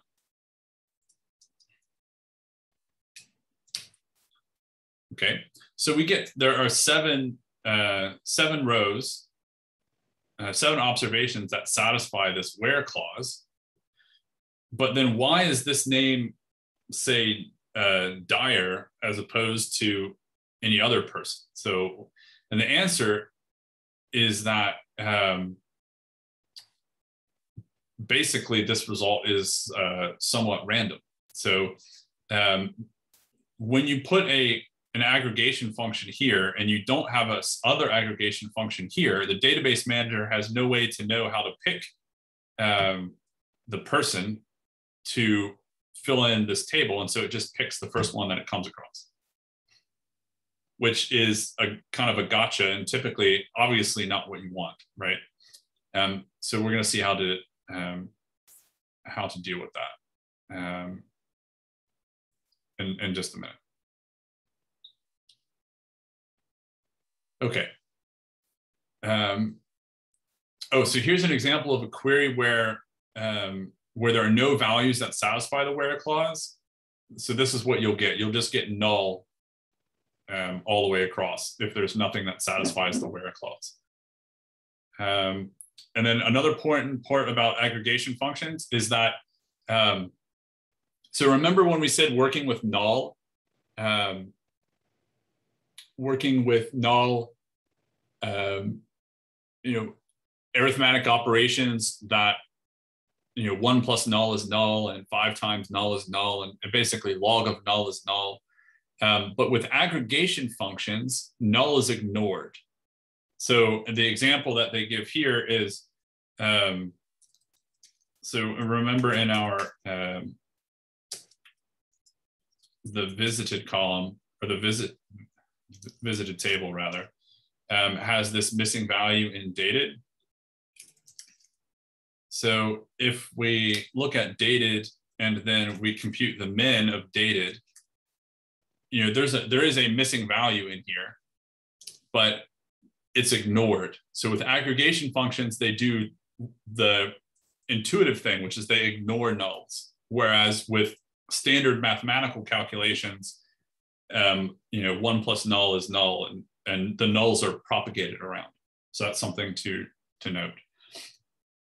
Um, so there's a question in chat. So the cap, the count function is all lowercase. Does this have any particular meaning? And the the answer is no. Um, so if I wanted to do um, select uh, count star from survey, I could do that. And you know, it's an example of convention rather than uh, requirement. So I'll put uh,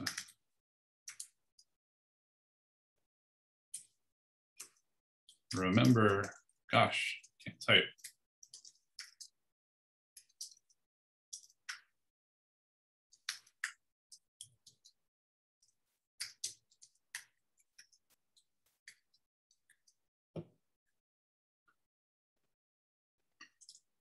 Okay. Um, ba -ba.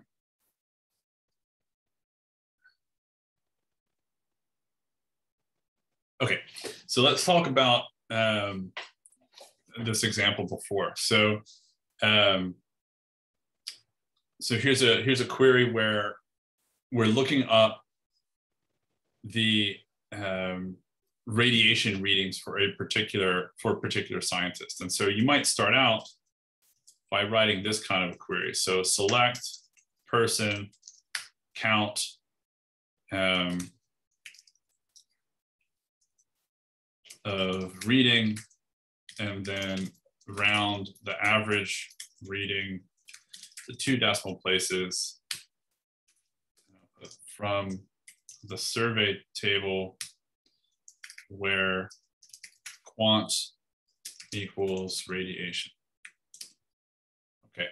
But again, so this person here was just kind of chosen by the database manager. We, we need to we need to um, add to our where clause to specifically say we want a particular person. So person equals, and actually let me let me do this in a in a different. So if we do um, and person Dyer. Okay, so notice here how we got two different results. So here, the first one we calculated the, the total numbers of readings across all the scientists and the average reading across all the scientists and happened to randomly the database manager just picked the first person that it found in the person table and came back with Dyer. Here, we've explicitly said we want to filter the rows to extract all the rows where quant is radian and person is Dyer. And then we want to uh, count the number of readings and compute a rounded average of the number of readings. But now the database manager still selects you know the first person that it comes across but because the person has been restricted to be Dyer in every record then Dyer will be the one that is chosen so that's the um, the way to think about that now there's a better way to do this and so this would be really tedious to have to write, like suppose we, you know, wanted to do this over and over and over again, but for each of the scientists. So we don't want to have to write this query over and over and over. It would be better if there was a way to say, like, give us the results of, uh, give us basically this calculation, but for every possible person, every possible scientist. And the way that you do that is using the group by clause. And this allows us to do this calculation um, for each person with one query. Um, we can even do one better. We can say, well, you know, what if we wanted to do this for the same calculation, but for salinity or um, temperature? You know, wouldn't it be great if there was a way that we could do this for all um,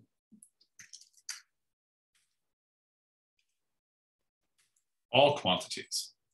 So here we can remove the um, group by clause entirely and group by person quant pairs. And um, just to make this a little bit neater, we could even order it. Order by person, um, ascending, and uh,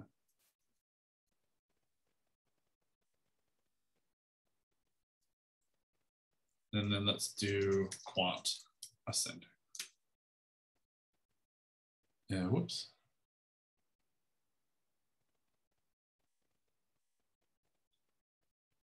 Why is it not like that?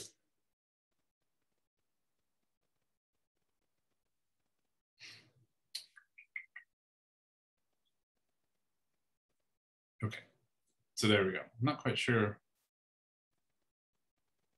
why it didn't want to order. Anyway, so there's an example of how in one these so these group by operations are very um, are very powerful. And you know we did some group buys with pandas.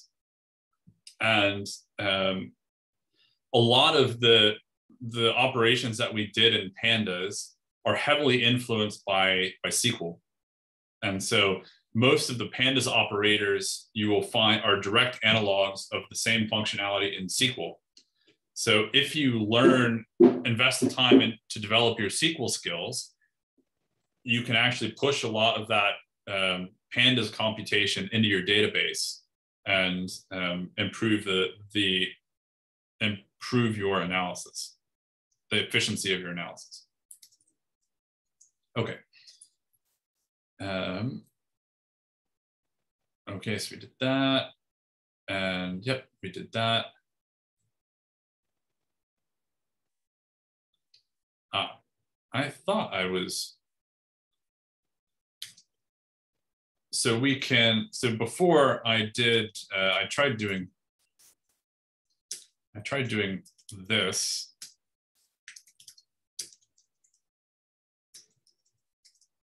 And got an error. And it was just a, a syntax error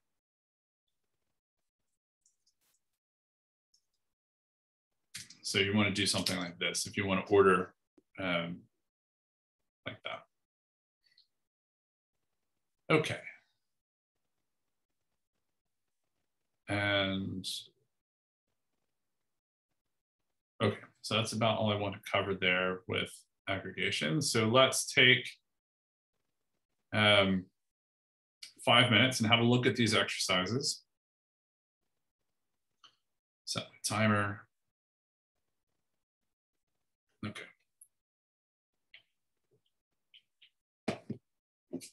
And I will stop sharing my screen. Okay. So have a look at um, at these exercises again. So uh, counting temperature readings, averaging with null, check what this query does, and and whatnot. Um, so we talked about aggregation functions and showed how they combine multiple values. Well, we talked about how aggregation functions ignore null values, so you, which is almost always what you want.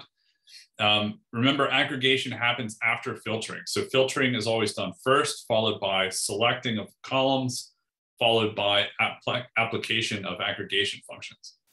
And you can use the group by to combine subsets. So a group by is a way of running the same query on a set on and grouping the results uh, together. Um, and a gotcha. So if no aggregation function is specified for a field, then you might get an arbitrary value.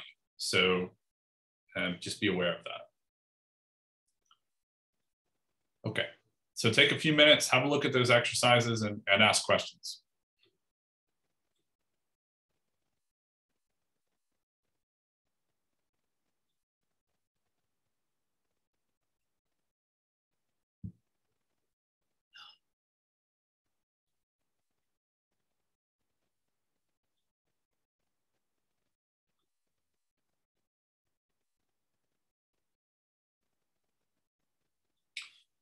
And then the next episode is on combining data. And it's probably, you know, other than learning the basics, combining data or combining tables is the most important topic because with relational databases, it's almost always the case that the data that you need to answer the question is spread across multiple tables. And in order to answer your question, you need to understand how to write queries to join tables together to produce results. So that's what we're going to talk about um, probably for most of the rest of today.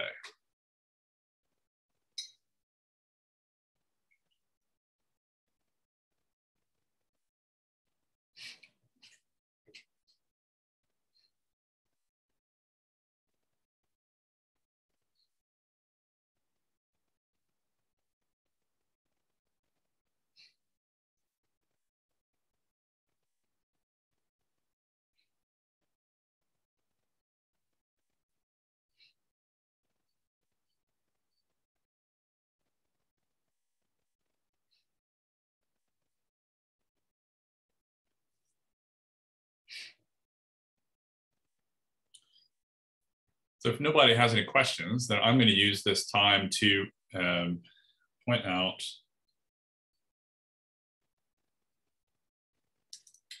something interesting that you guys should be aware of.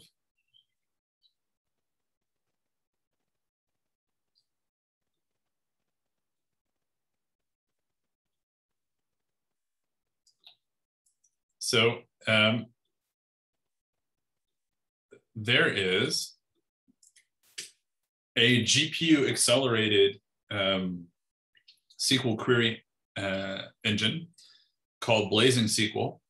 And if you are here at KAUST, and then you will have access to IBEX and all the GPU computing power that is available on IBEX. And you can use that GPU computing power to dramatically accelerate your SQL query, um, your SQL queries and your data analysis using a tool called Blazing SQL and I put the link in the chat. Um, it's also available if you want to use Google Colab um, to get access to a GPU for free. You can install Blazing SQL and use it on that.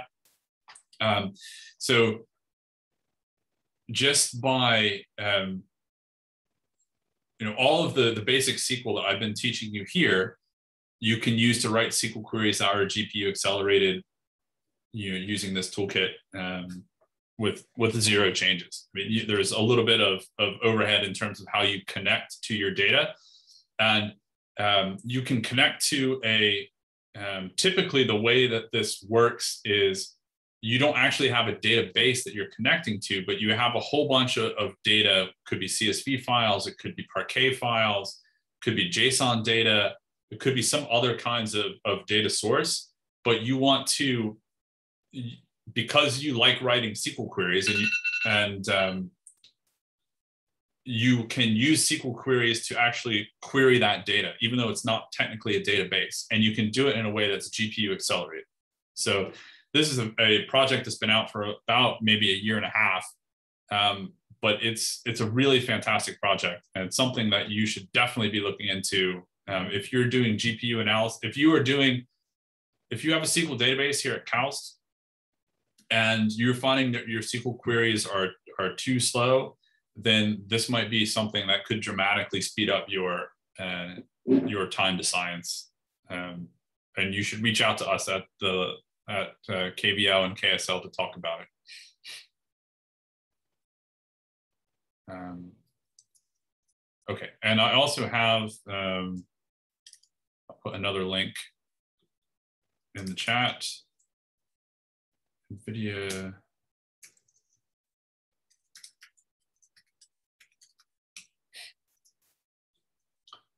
Um, so on the KAUST VisLab uh, GitHub page, I maintain a, a data science project template for NVIDIA Rapids. And this includes, um, as part of the Conda environment, um, uh, Blazing SQL. Where is it? Down here. Um, so if you want to get started on IBEX using um, Blazing SQL, then this uh, project template is the place to get started. Well,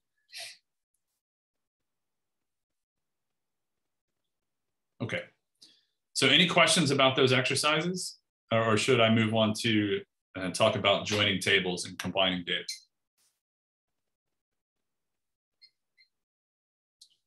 Okay. I'm going to move on. Okay, combining data. Let me go back here. Do.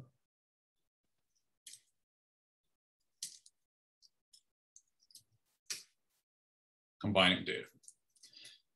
So we're going to talk about how to combine data from multiple tables. Uh, we're going to look at some queries. We're going to write some queries uh, to join uh, multiple tables. And we're going to, the key idea is we're going to talk about joining tables on keys. And we're going to need to introduce um, the concept of a primary key and a foreign key. And, and these are kind of the two key uh, definitions that you need to keep in mind when thinking about how to join tables. Okay. So um, to motivate this, so suppose that we want to submit our data to a website that stores historical meteorological data, but they have a particular format um, in which they want the data. It needs to be formatted with latitude, longitude, date, quantity, and reading in that order. Um, however, if you look at, so here's kind of a, a pictorial representation of our database schema. The latitude and longitude values are stored in the site table. So that's here. The measurements, the dates on which the measurements were taken are actually stored in the visited table here. And the readings themselves are in the survey table.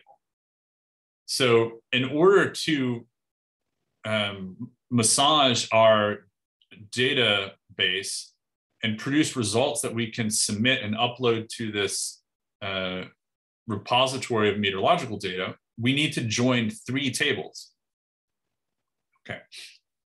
Now, so let's talk about these arrows, uh, these arrows here and what they represent. I mentioned this a bit earlier. Um, so in the site table, um, each site has a name and that name uniquely determines the site. So the name is the primary key of the site table.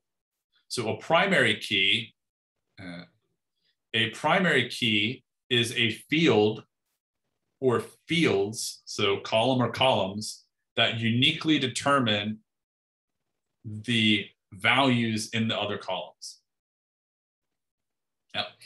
So in this case, in the site table, it's the name. So that's the primary key. So there's an arrow from the primary key in the site table to the site field in the visited table. And that's because the site field in the visited table stores the same kinds of information that is in the name field of the site table. So the site uh, field is a foreign key in the visited table. So a foreign key is a field or fields that represent a primary key in some other table. Now, the primary key for the visited table is the ID field. And the ID field, if you follow this arrow, shows up in the survey table in the taken field. Okay, so we'll let that sink in for a little bit. So a primary key is a field or fields that uniquely determine the other values um, in that record. Um, that's a primary key. A foreign key is a field or fields in a table that represent a primary key in another table. And when we join on uh, join data sets by key, we're going to be matching up primary keys in one table with their foreign keys in another table. That's basically the idea. So let's learn by doing. So the SQL command to join tables is join. So if we wanted to select everything from the site table joined with the visited table, we would get the following. What on earth has this done? So for some of the rows, you can look in here and you can see, okay, well, here's, here's this, this record here has joined dr-3 and dr-3. So this looks like it might be sensible data. This is like a latitude and longitude for the dr3 um, site and this is the date on which the reading was taken at the DR3 site. Okay, so that looks like reasonable. But then if you look up here, here's a here is a um, a record from the uh, site table, which has D, uh, DR1 and then lat long coordinates that was joined with a record from the visited table for a completely different site. So that's like nonsense information. So we don't want that. So that doesn't, uh, that's, that this is called, um, I believe it's called a, a cross product of the two tables. So basically it joins just by itself. So if you just do this, this query that we, uh, that we ran here, and we don't provide any other information, all the database manager can do is to create the cross product of the two tables, which means that for each record in the site table, it needs to join it to each record in the visited table. So for example, um, so note that this first record here for the site table, DR1 with this specific lat long coordinates gets mapped with this record from the visited table. So this is the same record from the site table with a different record in the visited table, same record in the site table with a, yet another record in the visited table. And this just repeats until we get to um, here. So there are, let's see, um, one, two, three, four, five, six, seven, eight. So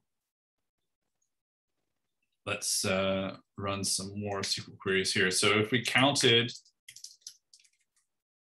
uh, from the visited table, that's eight. And then let's do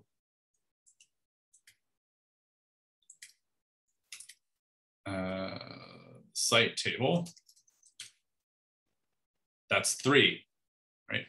So we have one, two, three, four, five, six, seven, eight, eight records.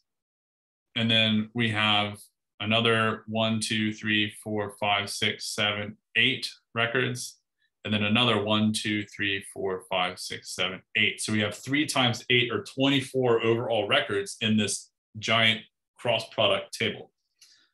Most of those, or many of them, are nonsensical because they've just been joined together in a way that doesn't make sense.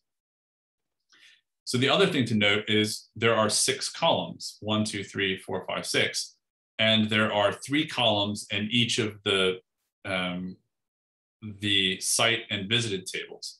So the number of fields is going to be multiplying um, the number of, or sorry, the number of records in the join table is the product of the number of records in the individual tables. And the number of fields in the join table is the sum of the fields in the two tables in this giant cross product. So, but really, you know, this is the typically might what you might do when you're growing a query, but it's generally not what you want to do. You want to actually join in a particular way. So we want to join site and visited, and we want to use the information represented by these arrows, these relationships between the primary key and the foreign key. So we want to reference the site dot name and um, and visited dot site. So we want to join these two tables. And then we want to preserve this relationship between the primary key in the site table and the corresponding foreign key in the visited table. And now see how we get a match between the name and the site. So this was the, the primary key from the site table was the name field and the foreign key in the visited table was the site field and these two values match. And that's what we want. Okay, so it's similar to, um, OLEN is very similar to where. Um, there are some subtle differences um, that are a bit more advanced. But for example, um, you could write this query and you would get the same answer. Okay, now um, we don't actually want all of this information. So what we could do is instead of saying select star, we could say, well, we want the site, because remember we have a, a, specific format that we're looking at or we're looking to hit. So we want site.lat, site.long, and visited.dated. And note that we, we use this dot notation to reference particular fields in different tables. Okay. Right. But remember, we need to actually join three tables. Yeah. So in order to answer our query, our question, or format our data correctly, we need to actually join another table. So um, how do we do this? Well, we can do it with um, another, by taking advantage of knowledge of another primary key foreign key relationship. So we know that in the uh, visited uh, dot site table. So let's go back up here. Um, I'm sorry, we know that the visited dot ID the primary key in the visited table, which is ID, maps to the taken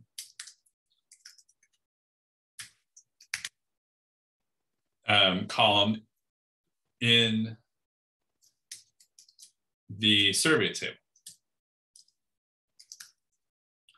So we can join multiple call or multiple more than one more than sorry more than two tables together and we can take advantage of these multiple um, primary foreign key relations. Make sure I haven't uh, goofed that up. Yeah, there we go.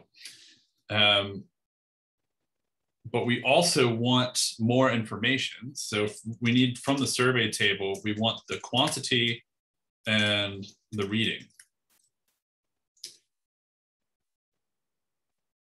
And then we need to discuss how we want to handle the, the null values here. So do we want to include them or, or exclude them?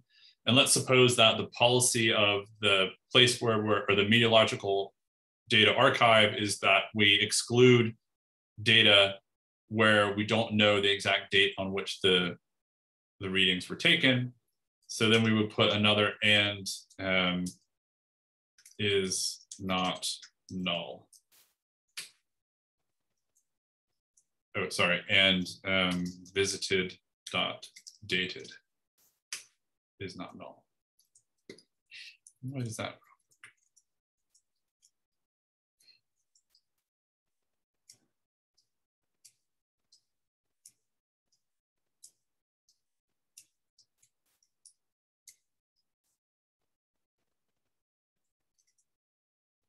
Hmm. Let me think about why that's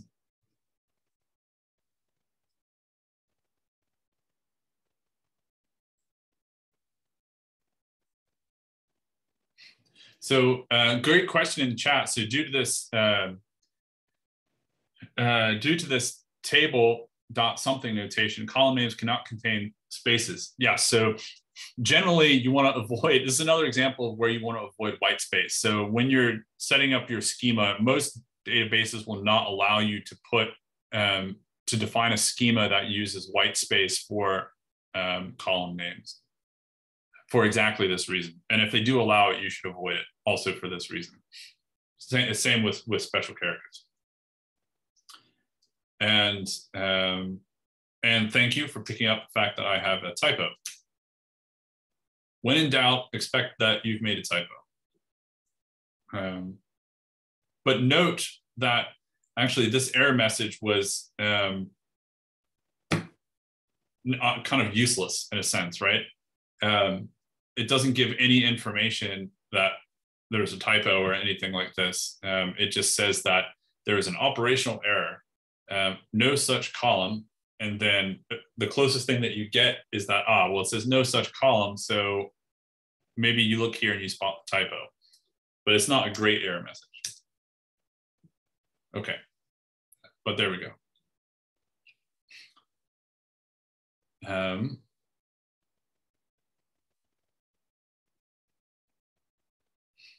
And here, this is a discussion about, again, primary keys and, and foreign keys. Um, every, every table in a database should have a well-defined primary key. Um, and in SQLite, and actually most um, most implementations of SQL databases will automatically generate a default um, uh, a default primary key. And it's and SQLite, it's something called row ID.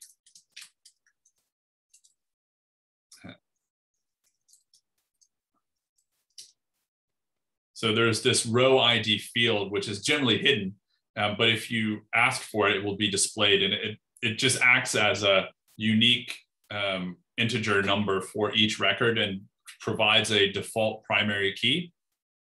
Um, one of the one of the reasons why um, you you always you will always want to define a primary key for all of your data tables is that it makes um, many queries dramatically more efficient um, because by defining a primary key in a data table you can um,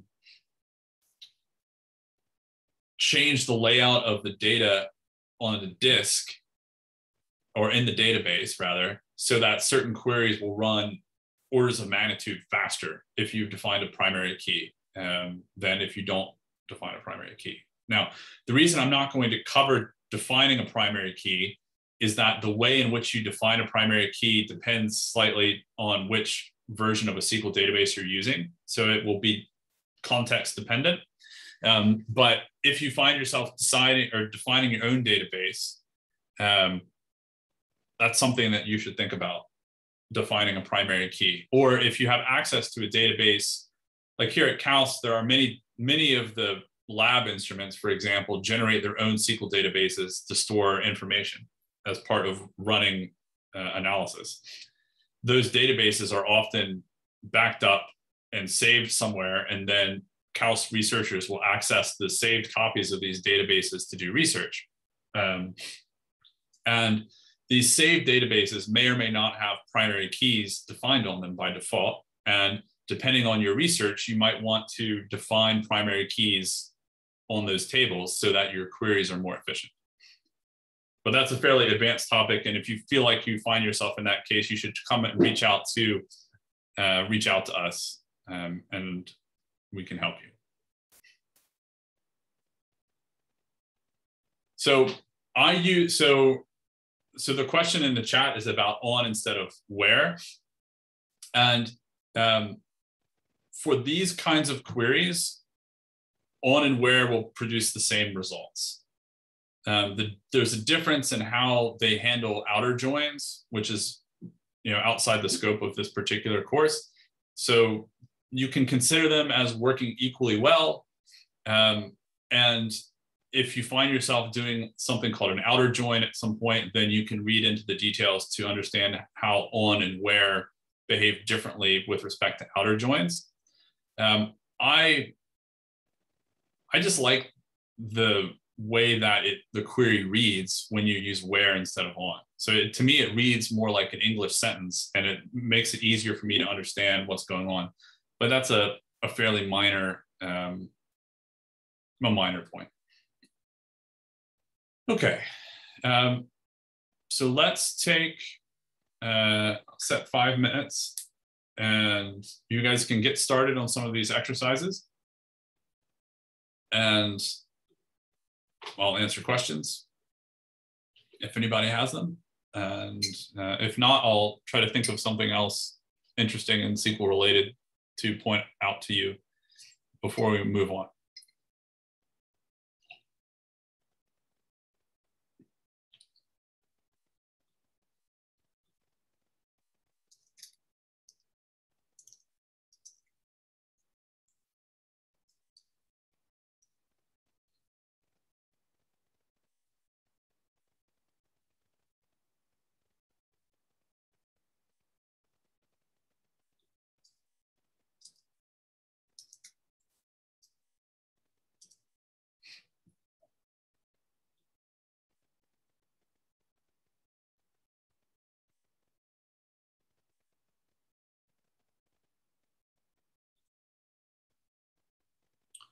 Okay, I'll just briefly share my screen.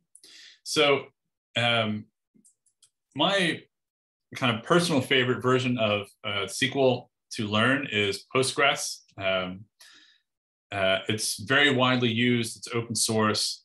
Um, there's a great book um, that is in its, I think, third edition is the most recent uh, edition. And so, if you really want to do a deep dive onto into SQL, then I this is would be the book that I would recommend. I'm going to put the link in the chat. Um, and you know, it's worth. SQL is a very um, a very marketable uh, job skill, uh, job related skill. So it is probably the most widely used language by data scientists, certainly in industry even more so than Python. And the reason for that is if you're doing work as a data scientist, then the vast majority of the data that you're going to use lives in SQL databases of some description. And so the first step in doing your work is almost always going to be here's your laptop, here's where our data, our SQL database lives. The data that you need to do your work is in there, get it out and start doing your work. And so in order to do that, you need to know how to write SQL queries. And um, you know, it's not uh, unheard of in many many um, job interview situations now for for data scientist positions to be asked to write a SQL query as part of the job interview. Um, so, or be given a database schema and said, you know, how would you write a SQL query to extract certain information? Um, so it's definitely a, a very useful useful skill to know. And that book is if you want like a reference book then that book on postgres is the best one that i'm i'm aware of um, and can recommend.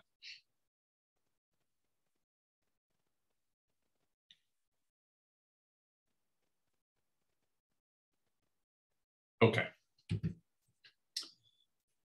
So let's are there any questions about any of these exercises or should I go ahead and move move on to our next uh, next topic?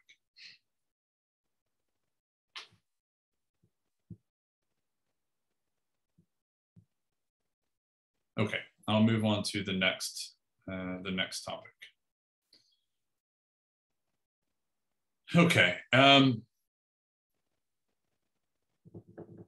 so I think what I want to do is I, I want to try to do a little bit more hands-on stuff. And so there, there's an, an episode here on data hygiene. It goes into some more um, detailed information about how to store data in a database. And so this would be relevant if you need to create a database from scratch, um, which from my experience with, with users here at KAUST, kind of most, most users don't create a database from scratch. Like they're given access to a database that somebody else is maintaining, somebody else creates the table, somebody else does all these things. So uh, this is more relevant for people who need to create database tables, um, but it's here. Um, then the next episode is on creating and modifying data. Um, and so these are the create table statements. So when we looked at the schema earlier for the database, most, most databases will give you the schema and what the schema actually is, will be is actual uh, executable code that will create the tables used um, in the database. Um, and so there's create table statements and drop table. Drop table is how you delete a table, um, and create tables or how you create tables. Um, and when you uh, are creating tables, um, one thing to note is that if you in your schema, you can force fields to allow null values or not. And this is really, really useful and can help save um, a lot of grief later. If you know that a particular field in your table is a required field and that it should never be um, never be feasible for somebody to insert missing or insert a record that has missing data in that field, then you can force that to be the case. Um, so you can force fields to be not null. And then if somebody tries to enter data into the database that contains null values in fields that are not allowed to be null, then there will be an error. Um, and then when you create tables, you can also define at the time of creation primary keys and foreign keys and things like that. Um, looks like we have some questions in chat.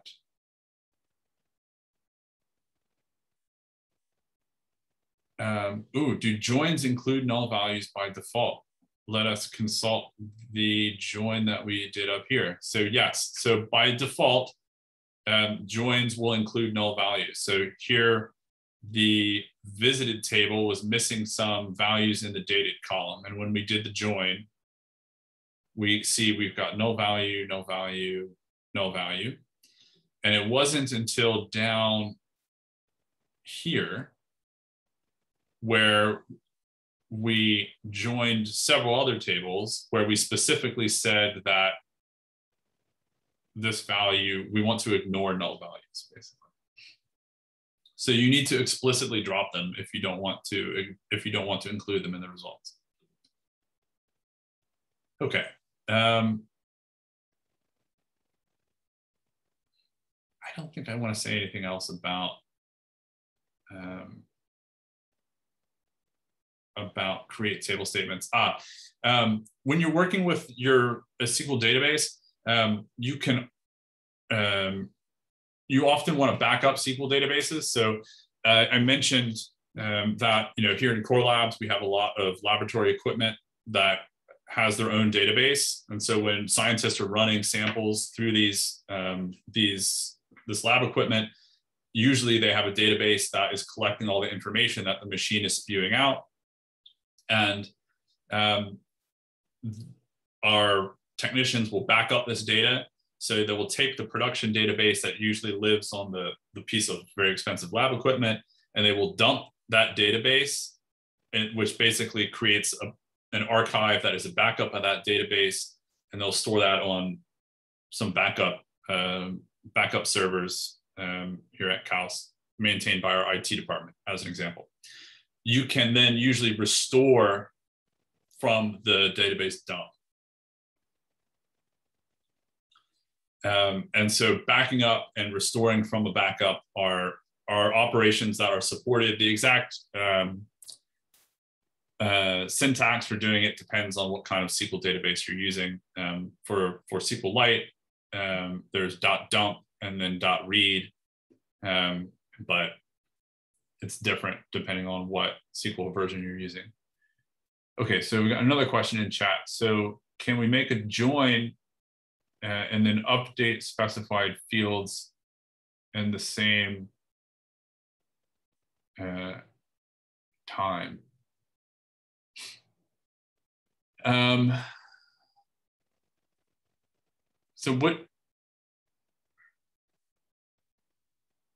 you mean like overriding? So uh, Akai, do you mean like overriding overwriting values or something? Like what do you mean by updating um, fields?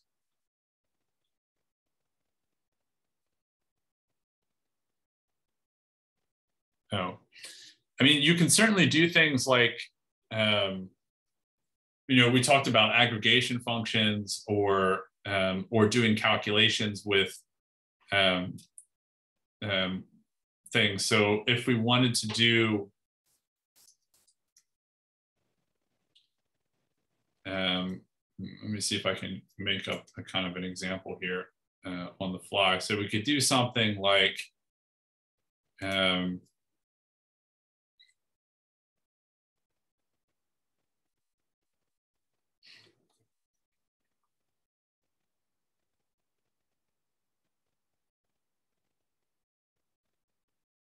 All right, Let, let's say that we only wanted to look at the salinity uh, readings or the radiation readings rather.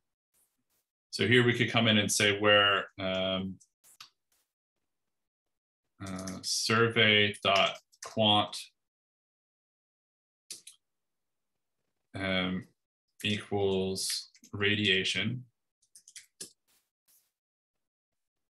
And because we know that the uh, radiation values are off, we could do, uh, we could bump them up by uh, 5%. And I'll just call this um, as updated radiation. So you could do stuff like this. So the, the, the stuff we learned earlier about doing you know computations on on data and things like that or aggregation functions and things yes you can do that kind of stuff um, but if you mean like overriding values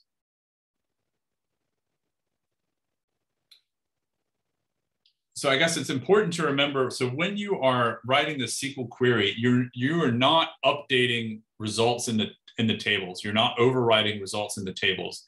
You are kind of asking a question and getting back a completely new table of results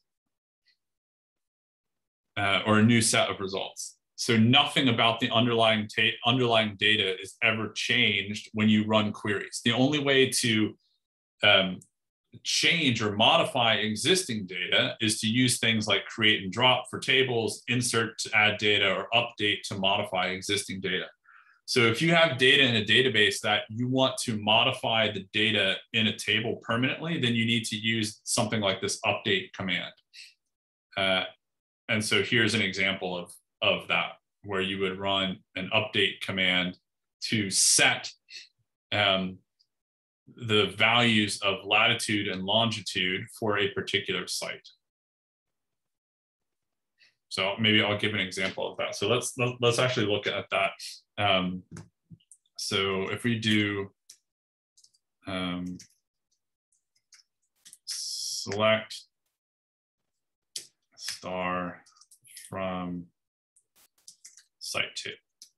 Okay, so let's suppose that we learned that actually there was a huge error in, um, there was an error, let's just say there was an error in these latitude and longitude values, and we wanted to update them.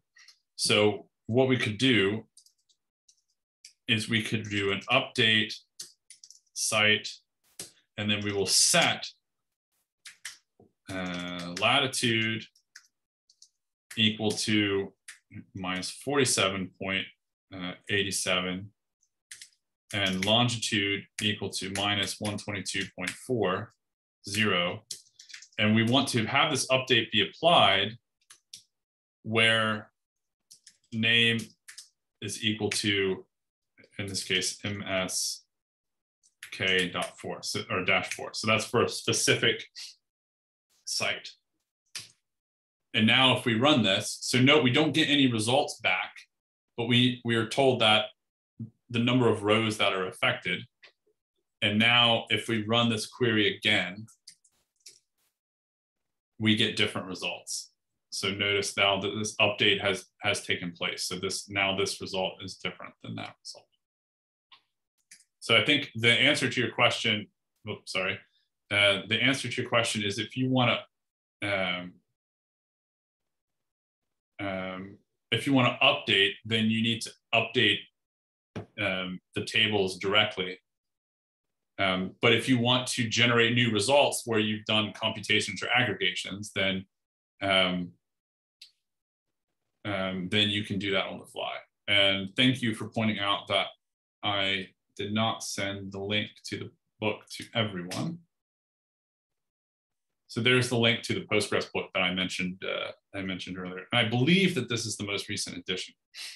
Um, and if you're here at KAUST, then this book is actually available via the library from their digital catalog. Okay. Uh, let's see, what else we want to cover? Okay, programming with databases. So, um, so there are there are some there's some material here in this programming with databases, um, and I'll let you read through it on your own time. I'm just going to show you the notebooks where I've kind of extracted this information.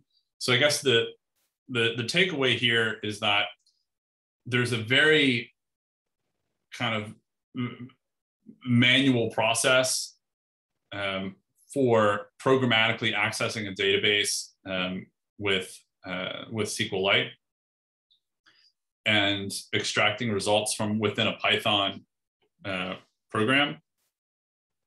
But I think there are better ways to do it, and so I don't want to actually walk through the de- I don't want to go through the details of this too much. Um, there are better ways of like you can write functions that um, where you pass in uh, function arguments that are then used to construct um, SQL queries and then fetching results and things like that. Um, and there are important things that you need to consider when writing these functions. But again, I don't want to go into the details of this because I think there's a um, there's a better way.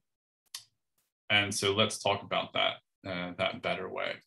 So in the notebooks directory, I have quite a few notebooks. So one is, um, so there's one, there's programming. Let's make this a little bigger. Uh, okay, so there's um, programming with uh, database magics, and then pandas, and then Python. Okay. So what these, what I've done is, so this programming DBs with Python is basically extracting out the code that's here and then putting it into a notebook so that you can run it and see what it does. And um, so if we just run all of this code, so if we import the SQL 3 library and we um, you know, run this example code, you know, that basically walks you through the examples here in the text. Now, um, so here's an example where I compare some operations in um, different operations using a database or not using a database. So here I'm going to generate some random data. So these are basically just random numbers. And then um, I'm going to create a database and um, a, a database file, and I'm going to insert this random data into that database.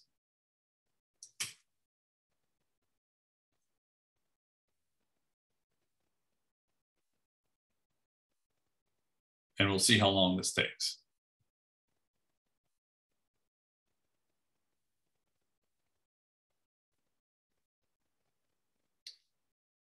So this took about two seconds, basically, to insert, um, to create a data table with a million um, um, a million values or to create a database table with a million rows. Um, and then if we just wanted to basically load a um, load a data file, then so it's actually faster. So if we so this is an example of where um, where you where you might think, wow, well, actually, why would I go through the trouble to load data into a database if it takes longer to load the data into the database than it does to just read the file, basically?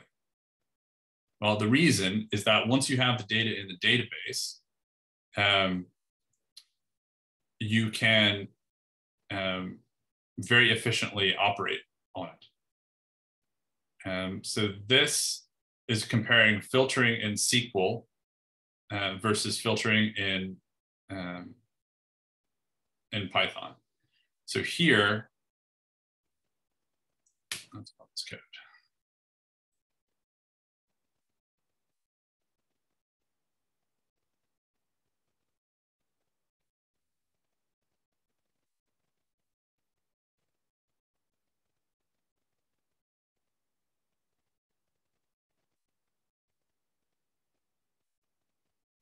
Okay, so here I do filtering. Um, I do filtering in Python. So the data lives in the database, but then I actually just go ahead and extract. So here's the SQL query. So I just extract the entire table from the database, and then I do some Python code to do the filtering in Python. And that takes about one second. Whereas here, I push the computation into the database by applying the filtering operation in the database itself.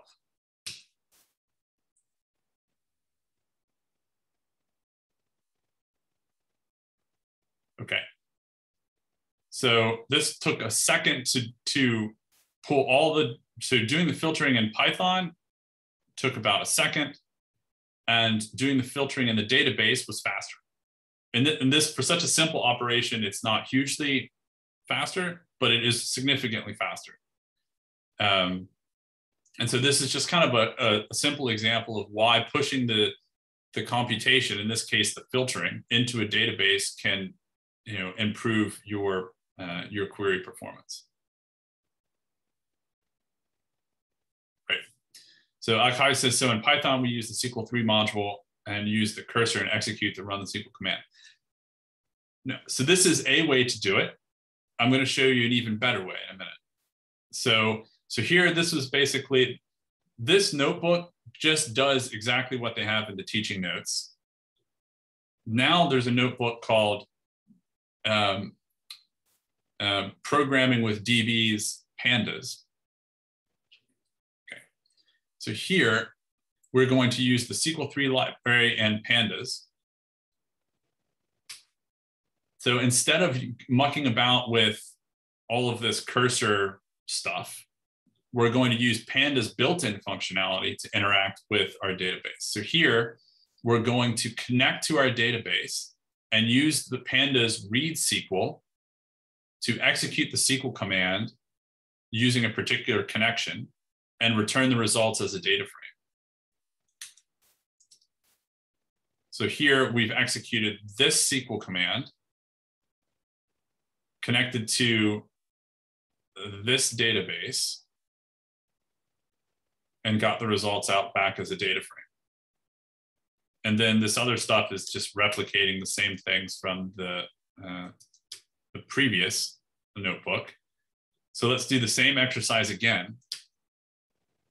Now, compare this code with,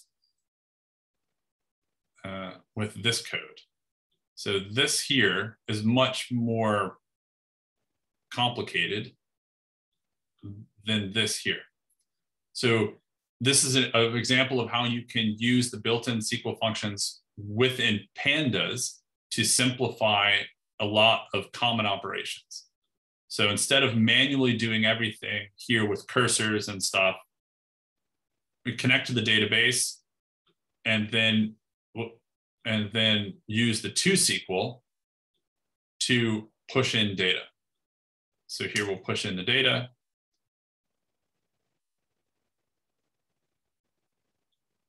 and then we're going to compare. So writing, so this was taking a data frame, which we read uh, here, and writing it to a database versus writing it to disk. So basically, putting data into a database is often going to be much faster than dumping it to a CSV file.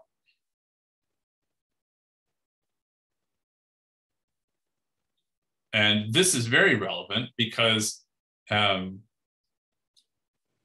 uh, yeah. So it's almost 2x faster to write data to a database than to just dump it straight to a CSV file, to a text file. And this is hugely important because um, there are lots of, of jobs. Uh, here, here at KAUST, we have an, a fantastic cluster called IBEX, and it's used by all users here at KAUST, and, and it can be if you're not in KAUST, you can apply for access to use it. Um, there's a process for getting access to it if you're not from KAUST, um, but you're within Saudi Arabia. Um, writing data to disk can often slow down other people's jobs. So using a database and writing data to a database um, is a way to significantly not only improve the performance of your jobs, but could um, improve uh, performance for other people as well. And then here's a comparison of uh, filtering in SQL versus filtering in, uh, in Python. So here we do connect to the database and read the results of the SQL query. And then we do this filtering. Versus here, we do the filtering in the database and then um, compare the results to, uh, and then compare the results. So um, filtering in the database, again, improves performance. So pushing computation into the database will improve performance. Now, there's an even better way. And the even better way is the way that we've been actually doing it all day. So here we're going to use, um, actually, we're not even going to need the SQLite uh, 3 uh, library because we're going to use the SQL extension, which is what we had been using all day. We're going to connect to the database. And here's, so here today we've been running queries with the SQL magic command but you can actually bind the results of the SQL query and assign it to a Python variable, and then create a data frame from that Python variable. So this is even much simpler than, than using the read SQL. And here's an example of a multi-line query. So all day long, um, we've been doing things like like this, running queries, getting results. But you can actually um, bind those results to a local variable called SQL results using this, this little syntax here. And now we can dump it straight to a data frame. So th this programming with with magic commands, which we've been doing kind of all day, is how I use um, SQL and pandas together. So I I write queries interactively to get a query correct, and then I bind it to a value to a local variable, and then I dump those results directly into a data frame, and then off I go with scikit-learn or PyTorch or whatever else I'm doing as part of my, my data analysis pipeline. So these notebooks are here to kind of demonstrate, I would say, older approaches to using SQL with, uh, with Python. And this is, unfortunately, this the notes um, haven't been, the teaching notes have not been updated um, by the larger software carpentry community, but um, I have updated things kind of for you roughly. So here's the original, here's a slightly better way that might be relevant for other contexts, but here's the, the best way to do it with this programming with DB's magic. And then of course, we've been doing that all day with these magic commands in the notebook. Okay, um, that is all that I wanted to cover. Um, so if you're an R user, there is something about R here, um, which you can look into, but I'm not gonna obviously cover that because we're focused on Python. Right, so we have about 10 minutes left for Q&A. Um, does anybody have any, any questions or should we just wrap up?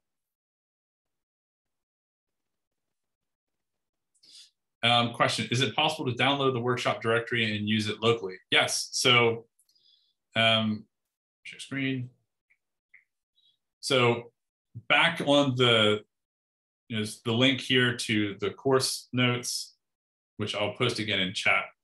Uh, I posted it earlier, but it might be way up in the chat. Um, there are instructions for how to download the survey.db file if you want to use it locally. Um, but to be honest, like if you want to play around, just use the cloud computing instances. They don't go away. So this the KAUST one is always available if you're inside of KAUST. If you're not in KAUST, you can just use the public Jupyter Lab and run the stuff in the cloud and save yourself the hassle of downloading stuff locally. If you just want to play around or go over this course material again more slowly or try some stuff out that you didn't get a chance to try out today because you were trying to keep up with what I was doing, um, don't uh, you know unless you really have a need to do a local install don't bother um, so another question um, so you know if you um, if you're here at KAUST, then you need to practice further and ask questions uh, or please you know um, you can come and talk to me if you're here at KAUST.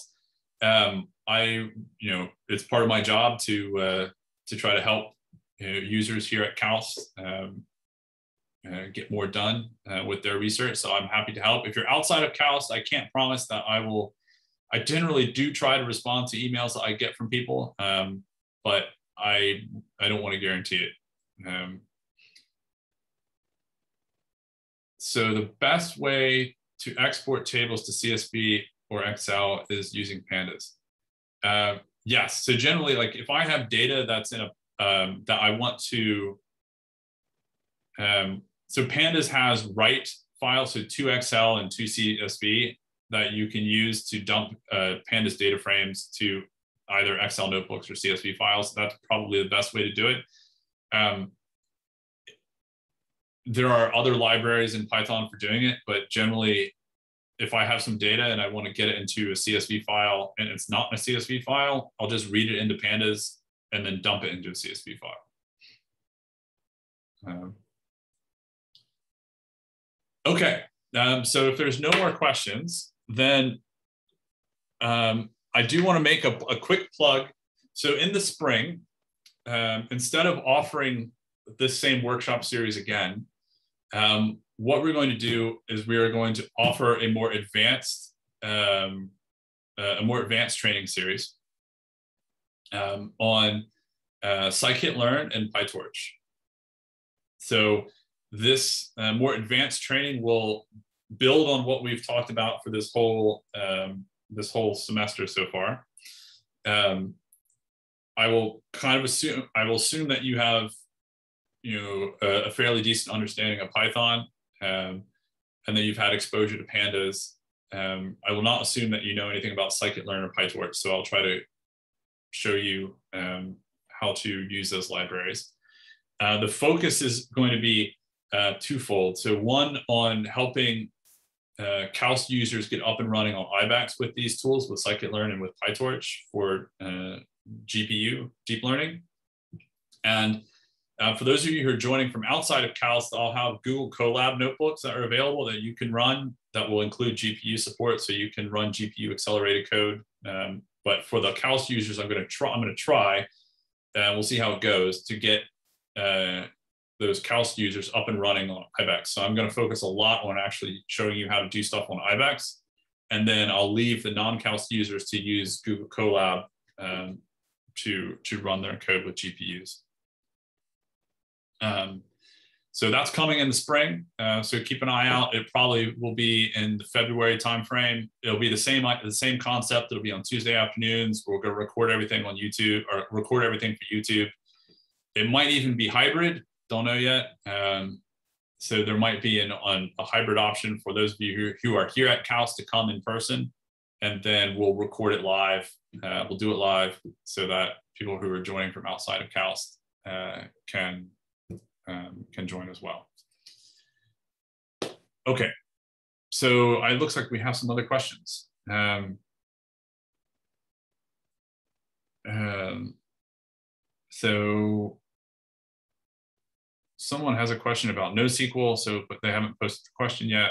Um, and then if I have a DB with tens of millions of rows and I want to transfer it, um, wouldn't it be slow to use pandas to convert it to a CSV? Uh, yes, it would. So my question would be, if, if you already have a database with 10 million rows, um, like, what do you mean you want to transfer it and for what purpose? So, you know, if you need to make the database available for others, you could dump the database and, and then allow them to restore that database and they could use the database directly. If the other people can't use the database directly because maybe they don't know how to write SQL, uh, write SQL queries, um, or you just want to make it available in CSV. Um, so typically, the issue with making it available directly in CSV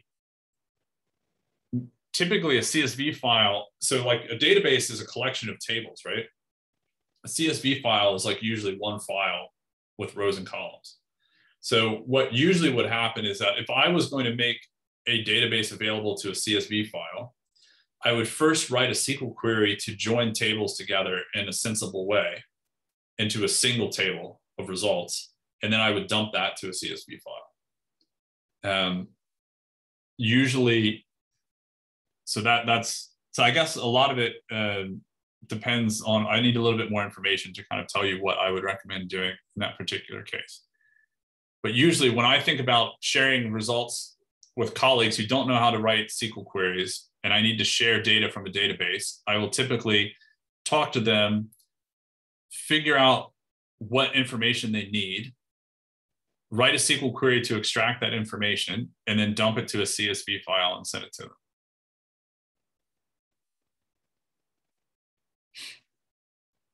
And how long does it take to master SQL commands? Um, I suppose that in some ways this is true for programming in general, but it's a little bit like mastering kung fu. You know, you don't really ever master it. You always just get better at at doing it. Um, so the the relevant question is not like how long does it take to master it is how long does it take to go from not knowing anything to being able to do useful things mastery is something that you know takes um, almost an arbitrarily long amount of time um, but hopefully you know in the three or four hours that we've spent this afternoon you've gone from zero to being able to do useful stuff. Now, to go from being able to do, you know, useful stuff to being able to do useful stuff quickly, you know, I would say, you know, you're certainly talking about, you know, investing, you know, a, a solid week's worth of time. So let's say like 40 hours. So if you spent 40 hours spread over some amount of time, seriously going over um, and and practicing and writing SQL, I bet you could get yourself to be a very very competent writer of SQL queries. Um, you might be able to go through that whole book that I linked in 40 hours, um, possibly. I, I don't know. It depends.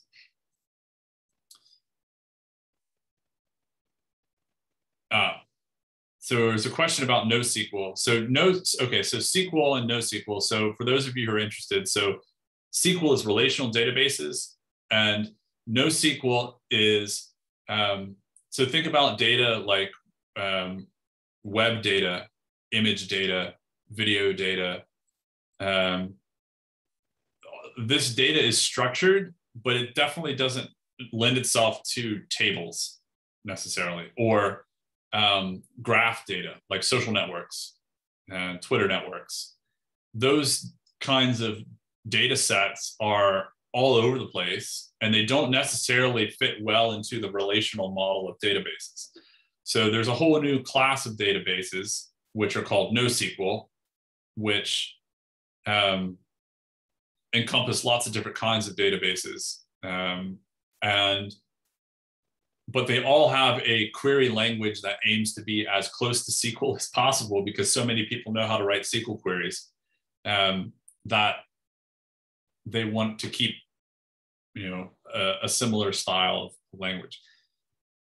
NoSQL databases are um, more prevalent, I would say, at like private commercial companies than they are at other places. Like there, there are some graph databases like Neo4j. Um, I'll put that up here and Neo4j. Uh, let me share screen. So there's uh, Neo4j.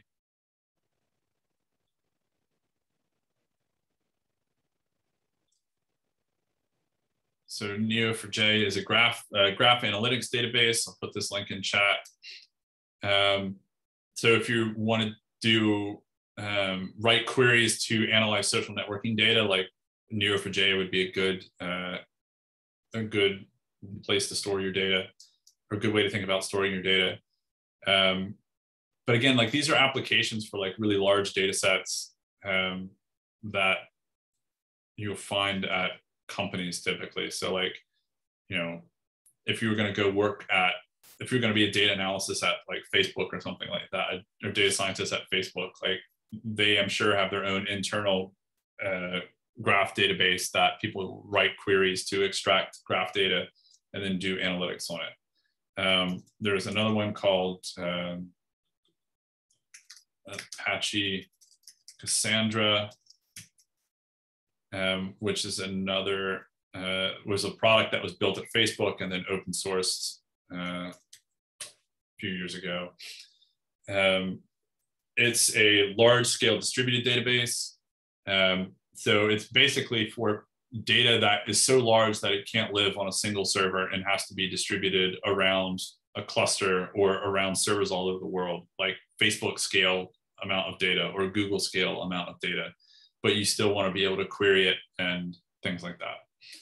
So they have a different query language that is very much like SQL, but not the same as SQL. That is that you can learn to write um, if you want to, if you need to interact with this database. But these are very specialized, focused topics that um, are kind of only relevant for people who need to use these kinds of systems. Like they're very bespoke tools, custom tools for very particular applications.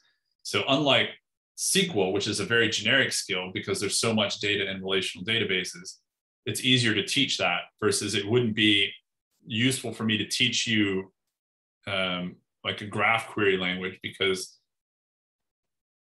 so few people are actually would actually need to uh, do uh, graph analytics, for example. But those are some resources. And you can find books on on those web pages about how to do that if you're um, if you're interested. So i mean the short answer is that i will probably never do a workshop on nosql because unless we have enough particular users who need it there there's just not the scale of interest to to support it. So okay cool. So we've gone a little bit over time, um, and so I want to cut it off here. So thank you all very much for attending. Um, and um, I hope you got something interesting out of the day. I really like teaching this workshop. Um, it's usually a topic that not many people have been exposed to in the past, and it's a really useful one. So I hope you got something out of today. And um, hopefully I'll see you next semester when we do our more advanced training. So thank you all very much for attending, and um, I'll see you again soon. Bye for now.